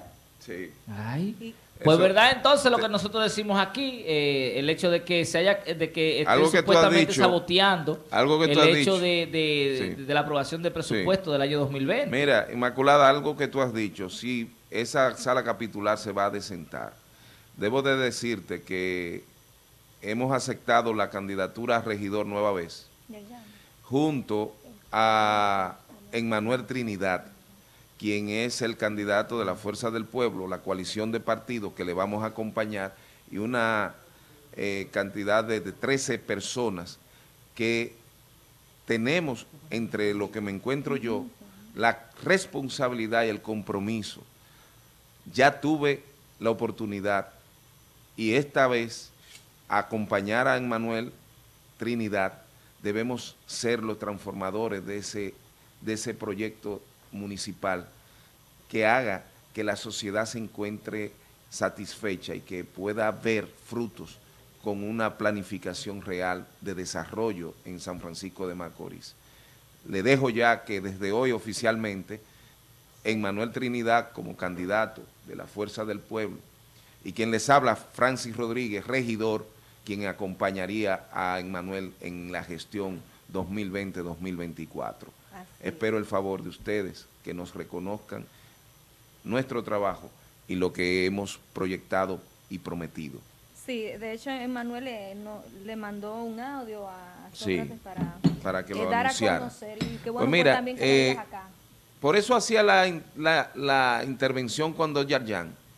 Primero porque se dan cosas en la sala capitular que al parecer nuestros amigos no han avanzado en lo que ha sido la proyección y que ya yo debo de reconocerle a Alex que ha tratado de transformar eso que por tradición era un problema y que realmente no podemos hacer una administración de reparto. Recuerdo que la primera vez cuando yo tenía mis posiciones muy claras por las desavenencias en el sentido de la falta de planificación, la improvisación, ¿me recuerdan? Pero a la vez... Todos, todos la teníamos. Sí. Todos. Pero a la vez, a la vez tenía que indicarle qué hacer, porque yo no puedo hacer crítica teniendo el conocimiento y habiendo pasado por la sala para que no dejar mi impronta Sí. que yo ataco, pero te doy mi- tu receta. Ahora bien, en un momento, recuerdo yo en el primer año de gestión, yo un enero 2 debí de salir al frente de la alcaldía en el sentido que reconocía, porque yo debía de ser coherente, porque una cosa que le pedía siempre a los regidores y al propio Félix Rodríguez en aquel entonces, era que ese ayuntamiento no podía tener el tamaño en cuanto a la empleomanía que no correspondía, por eso estábamos siempre que nos faltaba dinero y teníamos que buscar dinero en un préstamo para darle el sueldo 13. Lo correcto es que se, se provisione de el mismo monto que está destinado a pagar un fondo que al final de año se pueda tener Que no lo los ha logrado. compromisos, pero no lo ha también logrado el alcalde porque ha tenido que tomar otro préstamo en este en esta ocasión Entonces, para, para poder dar entonces el ese es un punto que no, no le favorece. Ahora, en aquel momento lo que yo favorecía era que no debía dejarse chantajear del partido porque los ayuntamientos tradicionalmente han sido la solución de salario para los compañeros que están fuera. Francis, pero... eh, ¿Me entiendes? Y eso no puede ser. Te pregunto, una de las cosas que no les, Hay que no les transparentar. permitió a la alcaldía tener o manejar a final de año un presupuesto eh, sin tener que coger o tomar préstamos, eh, no ha tenido que ver con el- la manera o el estado económico en el que él recibió el ayuntamiento en principio. No, porque ahí se recibe para los fines de pago de salario un 25% de la totalidad. Tú imaginas, para no hablar de los 300 millones que tiene el presupuesto, tú imaginas 100 pesos. Tú coges 25 pesos, es para el personal que va tu salario y el salario de los que están contigo. Si tú te sales de esa proporción, entonces va a ser un salario, de, eh, va a ser deficitario. Muy bien. Eh, mira, nosotros... eh, es posible que se haya aumentado la empleomanía. o disminuido también, porque puede- O se haya aumentado el salario y disminuido la empleomanía. Ahí sí. Eh, mira, ante todo esto, cerrar. Nosotros debemos de ir tomando las acciones necesarias e ir dando los pasos para que esto no pueda, o sea, no continúe pasando en la República Dominicana en las diferentes alcaldías. Sabemos lo que ha acontecido en la República Dominicana con lo, a lo interno de, de estas instituciones del Estado. Por Dios, sala capitular, no se intervengan para la realización eh, sana y correcta de un proceso, de Proyectense Dios. proyectense Y la pro- gente- positivo. Y la gente que asuma esto como propio, estamos hablando del desarrollo de nuestro pueblo y con gente como esa no va a ser posible. Vamos a escuchar a... Vamos a ver. WhatsApp. Muy buena tu planteamiento. Ahí está. Por Dios. Oyeron, regidores, eh, vamos a mandar la cámara hoy para ver cuáles son los que se oponen. Vamos y, a y- ver. y- No, no. y cuáles son sus No argumentos. es que se opongan, los argumentos. Los ¿no? argumentos, Porque claro. para tú poderte oponer, yo soy de lo que cree que debe de tú dar tus puntos Claro, de no, vista. porque ¿En qué está desa- Yo estoy de acuerdo con que se, pongan, se opongan a algunos puntos. Ahora bien, tienen que argumentarlo. No es diga que eh, no ¿Qué se puede eso? aprobar porque no, porque beneficia a Alex o beneficia No, al pero PRM. mucho menos No, eso, de y que, no- hay que darle No, porque eso no lo van a decir. prebendas Eso para... No lo va- eso no lo van a Pero ¿y si decir eso es un bandidaje. Bueno, Sí. vamos a ver los, a los, los WhatsApp. bono. Ahora sí. Dale romo a los periodistas. y- Nos envía que Eh, nos Sí, manda una y mandarle canasta a los periodistas, ya lo para sabemos 10 todo. consejos útiles para disfrutar tu noche. Evita lugar, a lugares, lugares alejados de la ciudad, prefieres reunirte en lugares, en lugares conocidos y demás. Vamos a leerla un poquito más adelante, doctor. El Sí, está el equipo desde la Sí, el equipo táctico.